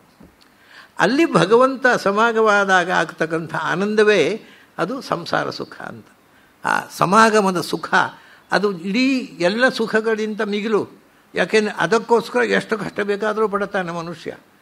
ಒಂದು ಕ್ಷಣಿಕವಾದ ಸಮಾಗಮದ ಸುಖಕ್ಕೋಸ್ಕರ ಇಡೀ ಜೀವಮಾನ ಒದ್ದಾಡ್ತಾನೆ. ಏನೋ ಒಂದು ಚಪಲಕ್ಕೋಸ್ಕರ ಸಮಾಗಮ ಆಯಿತು, ಅದರಿಂದ ಮಕ್ಕಳು ಹುಟ್ಟಿದವು. ಆಮೇಲೆ ಮಕ್ಕಳ ಕಾಟ ತಡೆಯಲಾರದೆ, ಡಾಕ್ಟ್ರ್ ಹತ್ರ ಹೋಗುವುದೇನು ಬರುವುದೇ ಇಡೀ ಒದ್ದಾಡಿ, ಅಷ್ಟು ಒದ್ದಾಟವೂ ಕೂಡ ಒಂದು ಸಂಸಾರ ಸುಖದ ಮುಂದೆ ತೃಣ ಅಂತ ತಿಳ್ಕೊಂಡು ಒದ್ದಾಡ್ತಾನೆ. ಆ ಅಷ್ಟು ಆನಂದದ ಎಕ್ಸ್ಪ್ರೆಷನ್ ಯಾವುದರಿಂದ ಬಂತು? ಅದು ಹೆಣ್ಣಿನ ಶುಕ್ರ ಶೋಣಿತದಲ್ಲಿ ಭಗವಂತ ಸ್ತ್ರೀ ರೂಪದಿಂದ ಇದ್ದಾನೆ, ಗಂಡಿನ ಶುಕ್ರದಲ್ಲಿ ಭಗವಂತ ಪುರುಷ ರೂಪದಿಂದ ಇದ್ದಾನೆ. ಇದು ಋಷಿಗಳು ಕಂಡುಕೊಂಡ ಒಂದು ಸ್ಪಿರಿಚುವಲ್ ಎಕ್ಸ್ಪೀರಿಯನ್ಸ್ ಆದ್ದರಿಂದ ಅವರು ಹೇಳ್ತಾರೆ, ಅವ್ರು ಹೇಳ್ತಾರೆ ಅವರು, ಯತ್ ಯತ್ ಸ್ತ್ರೀಯಾಂ ಲೋಹಿತಂ ಅಗ್ನೇಹ ತದ್ದು ಲೋಪಿತಂ ಭವತಿ, ಅಗ್ನೇಸ್ತದ್ರೂಪಂ. ಹೆಣ್ಣಿನಲ್ಲಿ ಏನು ಲೋಹಿತ ಇದೆ? ಶೋಣಿತ. ಅದು ಅಗ್ನಿಸ್ಥಿತನಾದ ಭಗವಂತನ ರೂಪ ಅದು ಅಗ್ನಿ ಅಗ್ನಿಯಲ್ಲಿ ಸನ್ನಿಹಿತನ ಭಗವಂತ. ಪೃಥ್ವಿಯಲ್ಲಿರುವುದು ಅಗ್ನಿ. ಪೃಥ್ವಿಯಲ್ಲಿ ಸನ್ನಿಹಿತನಾದ ಭಗವಂತ, ಅಗ್ನಿಯಲ್ಲಿ ಸನ್ನಿಹಿತನಾದ ಭಗವಂತ, ಅವನು ಹೆಣ್ಣಿನ ಶೋಣಿತದಲ್ಲಿದ್ದಾನೆ. ಸ್ತ್ರೀರೂಪದಿಂದ. ಅಗ್ನೇಹ ತದ್ರೂಪಂ. ಅದು ಅಗ್ನಿಸ್ಥನಾದ ನಾರಾಯಣನ ರೂಪ. ಆಮೇಲೆ ಅಥ ಪುರುಷಸ್ಯ ಪುರುಷೇ ಯದ್ರೇತಃ ಭವತಿ. ಆದಿತ್ಯಸ್ಯ ತದ್ರೂಪಂ ಗಂಡಸಿನ ರೇತಸ್ಸಿನಲ್ಲಿ ಭಗವಂತ ಇದ್ದಾನೆ. ಅದು ಯಾವುದು ಅಂದರೆ ಆದಿತ್ಯಸ್ಯ ತದ್ರೂಪಂ. ಸೂರ್ಯನಾರಾಯಣ, ಇಲ್ಲಿ ಸೂರ್ಯ ಇದ್ದಾನೆ, ಅಲ್ಲಿ ಅಗ್ನಿ ಇದ್ದಾನೆ. ಹೆಣ್ಣಿನ ಶೋಣಿತದಲ್ಲಿ ಅಗ್ನಿ ಸ್ಥಿತನಾದ ಭಗವಂತ, ಗಂಡಿನ ರೇತಸ್ಸಿನಲ್ಲಿ ಆದಿತ್ಯ ಸ್ಥಿತನಾದ ಭಗವಂತ. ಹೀಗೆ ಆದ್ದರಿಂದ ಅವರು ಹೇಳ್ತಾರೆ ಆದ್ದರಿಂದ ಅವರು ಈ ಈ ಜೀವನದಲ್ಲಿ ಈ ಇದರ ಬಗ್ಗೆ ಪುರುಷ, ಸ್ತ್ರೀ ಪುರುಷರ ಸಮಾಗಮದ ಬಗ್ಗೆ, ತಸ್ಮಾತ್ ತಸ್ಮಾನ್ ನಬೀಭತ್ಸೇತ ಹೆಣ್ಣಿನ ಶೋಣಿತದ ಬಗ್ಗೆ ಗಂಡು ಯಾವಾಗಲೂ ನಿಂದೆ ಮಾಡಬಾರದು ಅಸಖ್ಯ ಪಡಬಾರದು ಒಂದು. ಯಾಕೆಂದರೆ ಅದು ಭಗವಂತನ ಸ್ತ್ರೀರೂಪ ಸನ್ನಿಹಿತವಾದಂಥ ಒಂದು, ಇಡೀ ಇಡೀ ಜನಾಂಗದ ಸೃಷ್ಟಿಗೆ ಕಾರಣವಾದ ಭಗವತ್ ಶಕ್ತಿ ಅಲ್ಲಿದೆ. ಇಲ್ಲದೇ ಮನುಷ್ಯ ಸಂಸಾರವೇ ಬೆಳೀತಿರಲಿಲ್ಲ. ಜಗತ್ ಸೃಷ್ಟಿಗೆ ಕಾರಣ ಭಗವಂತ. ಆ ಜಗತ್ ಸೃಷ್ಟಿ ಕಾರಣವಾದ ಭಗವತ್ ಶಕ್ತಿ ಅಲ್ಲಿದೆ. ಅದರಿಂದ ಹೆಣ್ಣಿನ ಶೋಡಿತವನ್ನು ನಿಂದೆ ಮಾಡಬೇಡ ಅಥವಾ ತಿರಸ್ಕಾರ ಮಾಡಬೇಡ. ಹಾಗೆ ಗಂಡಿನ ರೇತಸ್ಸನ್ನು ತಸ್ಮಾತ್, ತಸ್ಮಾನ್ ನಬೀಭತ್ಸೇತ ಗಂಡಿನ ರೇತಸ್ಸನ್ನು ನೀನು ಅಸಹ್ಯಪಟ್ಟು ಅದನ್ನು ನಿಂದೆ ಮಾಡಬೇಡ ಅಥವಾ ಪ, ತಿರಸ್ಕಾರ ಮಾಡಬೇಡ ಅಥವಾ ಅದನ್ನು ದುರುಪಯೋಗ ಮಾಡಬೇಡ. ಯಾಕೆಂದರೆ ಅಲ್ಲಿ ಸೂರ್ಯನಾರಾಯಣ ಇದ್ದಾನೆ. ಪ್ರಪಂಚದಲ್ಲಿ ಅತ್ಯಂತ ಅದ್ಭುತವಾದ ಒಂದು ಸೃಷ್ಟಿಗೆ ಕಾರಣವಾದಂಥ ರೇತಸ್ಸನ್ನು ಸೃಷ್ಟಿ ಮಾಡಿದ್ದು ಭಗವಂತನೇ. ಅದರಲ್ಲಿ ಸೂರ್ಯ ಸ್ಥಿತ ದ್ವಿಲೋಕ ಸ್ಥಿತ ಭಗವಂತ ಕೂತ. ಅದರಿಂದ ಇದು ನೋಡಿ, ಮೇಲಿರುವ ಭಗವಂತ, ಇಲ್ಲಿರುವ ಭಗವಂತ. ಸೂರ್ಯಸ್ಥಿತ ಭಗವಂತ ಅಂದರೆ ಸ್ವರ್ಗದಲ್ಲಿರುವ ಭಗವದ್ ರೂಪ. ಅವನು ಆದಿತ್ಯದಲ್ಲಿ ಕೂತ, ಗಂಡಸನ ರೇತಸ್ನಲ್ಲಿ ಕೂತ. ಹಾಗಾದರೆ ಸ್ವರ್ಗದಲ್ಲಿರತಕ್ಕ ಭಗವಂತ ಭೂಮಿಯಲ್ಲಿರ್ತಕ್ಕ ಭಗವಂತರೊಡನೆ ಸಮಾಗಮ ಆಯ್ತಿರಲಿ. ಸ್ತ್ರೀಯಲ್ಲಿರ್ತಕ್ಕವಳು ಭೂಮಿಯಲ್ಲಿರ್ತಕ್ಕ ಭಗವಂತ. ಭೂಮಿಯಲ್ಲೇ ಭಗವಂತ ಇದ್ದಾನಲ್ಲ. ಎಂ ಎಸ್ಸಿ ಪೃಥ್ವಿ ಶರೀರಂ ಎಂ ಪೃಥ್ವಿ ನವೇದ ಭೂಮಿಯಲ್ಲಿರ್ತಕ್ಕ ಭಗವಂತ ಸ್ತ್ರೀ ರೂಪ. ಯಾಕೆ ಅದನ್ನೇ ಪೃಥ್ವಿ ಅಂತ ಹೇಳೋದು. ಪೃಥ್ವಿ ಅನ್ನೋದು ಸ್ತ್ರೀಲಿಂಗ ಯಾಕೆಂದರೆ ಅದರಲ್ಲಿ ಅಧಿಷ್ಠ, ಅದರಲ್ಲಿ ಅಧಿಷ್ಠಿತನಾದ ಭಗವಂತ ಸ್ತ್ರೀ ರೂಪ. ಮೇಲೆ ಸ್ವರ್ಗ ಅಲ್ಲಿರುವ ಭಗವಂತ ಪುಲ್ಲಿಂಗ. ಸೊ ಈ ಭಗವಂತನ ಭೂಮಿಯ ಭಗವಂತನಿಗೂ, ಸ್ವರ್ಗದ ಭಗವಂತನಿಗೂ ಸಮಾಗಮ. ಭೂಮಿಯಲ್ಲೇ ಸ್ತ್ರೀಯ ಶೋಣಿತಲ್ಲಿರೋ ಭಗವಂತನಿಗೂ ಪುರುಷನ ರೇತಸ್ನಲ್ಲಿರೋ ಭಗವಂತನಿಗೂ ಸಮಾಗಮ. ಇದು ದೈವೀ ಸಮಾಗಮ. ಇದು ಹೀಗೆ ಇರುವುದರಿಂದ ಮನುಷ್ಯ ಈ ಸಮಾಗಮದಿಂದ ಸುಖ ಪಡ್ತಾನೆ ಮತ್ತು ಅದಕ್ಕೋಸ್ಕರ ಹಾತೊರೀತಾನೆ ಅದಕ್ಕೆ ಕಾರಣ ತಿಳ್ಕೊಳ್ಳಿ. ಅದು ಭಗವಂತ ಒಳಗಿಂದ ಕೂತು ಮಾಡ್ತಕ್ಕಂಥ ಕ್ರಿಯೆ ಅದರಿಂದ ತಸ್ಮಾತ್ ತಸ್ಮಾನ್ ಬೀಭತ್ಸೆ ಆದ್ದರಿಂದ, ಅದರಿಂದ ಶೋಣಿತದಿಂದಲೂ ಅಸಹ್ಯ ಪಡಬೇಡಿ. ಆದ್ದರಿಂದ ಶುಕ್ರದಲ್ಲೂ ಅಸಹ್ಯ, ಬೀಭತ್ಸೇತ ಅಂದರೆ ಅಸಹ್ಯ ಪಡಬಾರದು ಅಂತ ಅರ್ಥ. ನಿಂದಿಸಬಾರದು ಅಂತ. ಯಾಕೆಂದರೆ ಅದು ಬಧಧಾತು, ಬಧಬಂಧನೆ ಅಂತ. ಅದು ಸಣ್ಣಂತವಾಗುವಾಗ ಬೀಭತ್ಸತೆ ಅಂತ ಆಗತ್ತೆ. ಅದು ಸಣ್ಣಂತ ಆದಾಗ ನಿಂದಾಯಾಮ್ ಸಣ್ಣ ಅಂತ ಅವರು ನಿಂದಿಸಬೇಡಿ ಅಂತ. ನಿಂದಿಸಬಾರದು. ಅದು ನಿಂದೆ ವಸ್ತು ಅಲ್ಲ. ಅದು ಅತ್ಯಂತ ಪವಿತ್ರವಾದ ವಸ್ತು. ಯಾಕೆಂದರೆ ಮನುಕುಲದ ವಿಸ್ತಾರಕ್ಕೆ, ಉತ್ಪತ್ತಿಗೆ ಕಾರಣವಾಗಿರತಕ್ಕಂಥ ಒಂದು ಪ್ರೆಷಸ್ ಅತ್ಯಂತ ಪವಿತ್ರವಾದ ವಸ್ತು. ಅದನ್ನು ನಿರಾಕರಣೆ ಮಾಡಬೇಡಿ, ಅದನ್ನು ನಿಂದಿಸಬೇಡಿ, ಅದನ್ನು ಪರಿತ್ಯಾಗ ಮಾಡಬೇಡಿ, ಹಾಳು ಮಾಡಬೇಡಿ. ಅದು ಭಗವಂತನ ಸನ್ನಿಧಾನ ಇರತಕ್ಕಂಥ ಎರಡು ವಸ್ತುಗಳು. ತಸ್ಮಾತ್ ತಸ್ಮಾತ್ ನನ್ನ ನಿಂದ್ಯ ನಮ್ಮ ಬೀಭತ್ಸೇತ ಅಂತ. ಇನ್ನೂ ಇನ್ನೂ ಸ್ವಲ್ಪ ಭಗವಂತನ ರಹಸ್ಯ ಸಮಾಗಮದ ಕಥೆ ಬಿಚ್ಚುವುದಕ್ಕೆ ತುಂಬ ಇದೆ. ಅದು ಕಥೆ ಬಿಚ್ಚಿಬಿಟ್ರೆ ಬೆಚ್ಚಿಬಿಡುವಂಥ ಕಥೆ ಅದು. ಆದರೂ ಕೂಡ ಇನ್ನು ಸ್ವಲ್ಪ ಇದೆ, ಅದನ್ನು ನಾವು ಇವತ್ತು ನೋಡಿ, ಕಮ್ಮಿ ಅಂತ ಹೇಳಿ ಯಾವಾಗಿಂದ ಹೆಚ್ಚು ಮಾತಾಡಿಬಿಟ್ಟೆ. ಈಗ ಅನುಭವ ಭಗವಂತನ ಶ್ರೀಪುಂ ರೂಪದಲ್ಲಿ ನಾನು ಮುಳುಗಿಬಿಟ್ಟೆ. ಇನ್ನೂ ಸ್ವಲ್ಪ ಇದೆ ಅವನ ನಾಟಕ. ಭಗವಂತನ ನಾಟಕ, ಅವನ ಸ್ತ್ರೀ ರೂಪದಿಂದ ಮತ್ತು ಪುರುಷ ರೂಪದಿಂದ ಅವನ ನಾಟಕ, ನಾವು ಅದರ ನೋಟಕರಾಗಬೇಕು. ಅದು ಉಪನಿಷತ್ತಿನಲ್ಲಿ ಮಾತ್ರ ಆಗ್ತೇವೆ ಇಲ್ಲ, ಆಗೋದಿಲ್ಲ. ಇದನ್ನು ಬರೀ ಸ್ತ್ರೀ ಪುರುಷರ ಸಮಾಗಮದ ಕಥೆ ಅಂತ ವ್ಯಾಖ್ಯಾನ ಬರೀತಾರೆ. ಅದು ಯಾಕೆ ಬೇಕು ನಮಗೆ? ಉಪನಿಷತ್ತು ಕಲಿಬೇಕು ಅದಕ್ಕೆ. ಅದೇನು ಬೇಕಿಲ್ಲ. ಅದು ಇನ್ಸ್ಟಿಂಕ್ಟ್ ಅದು.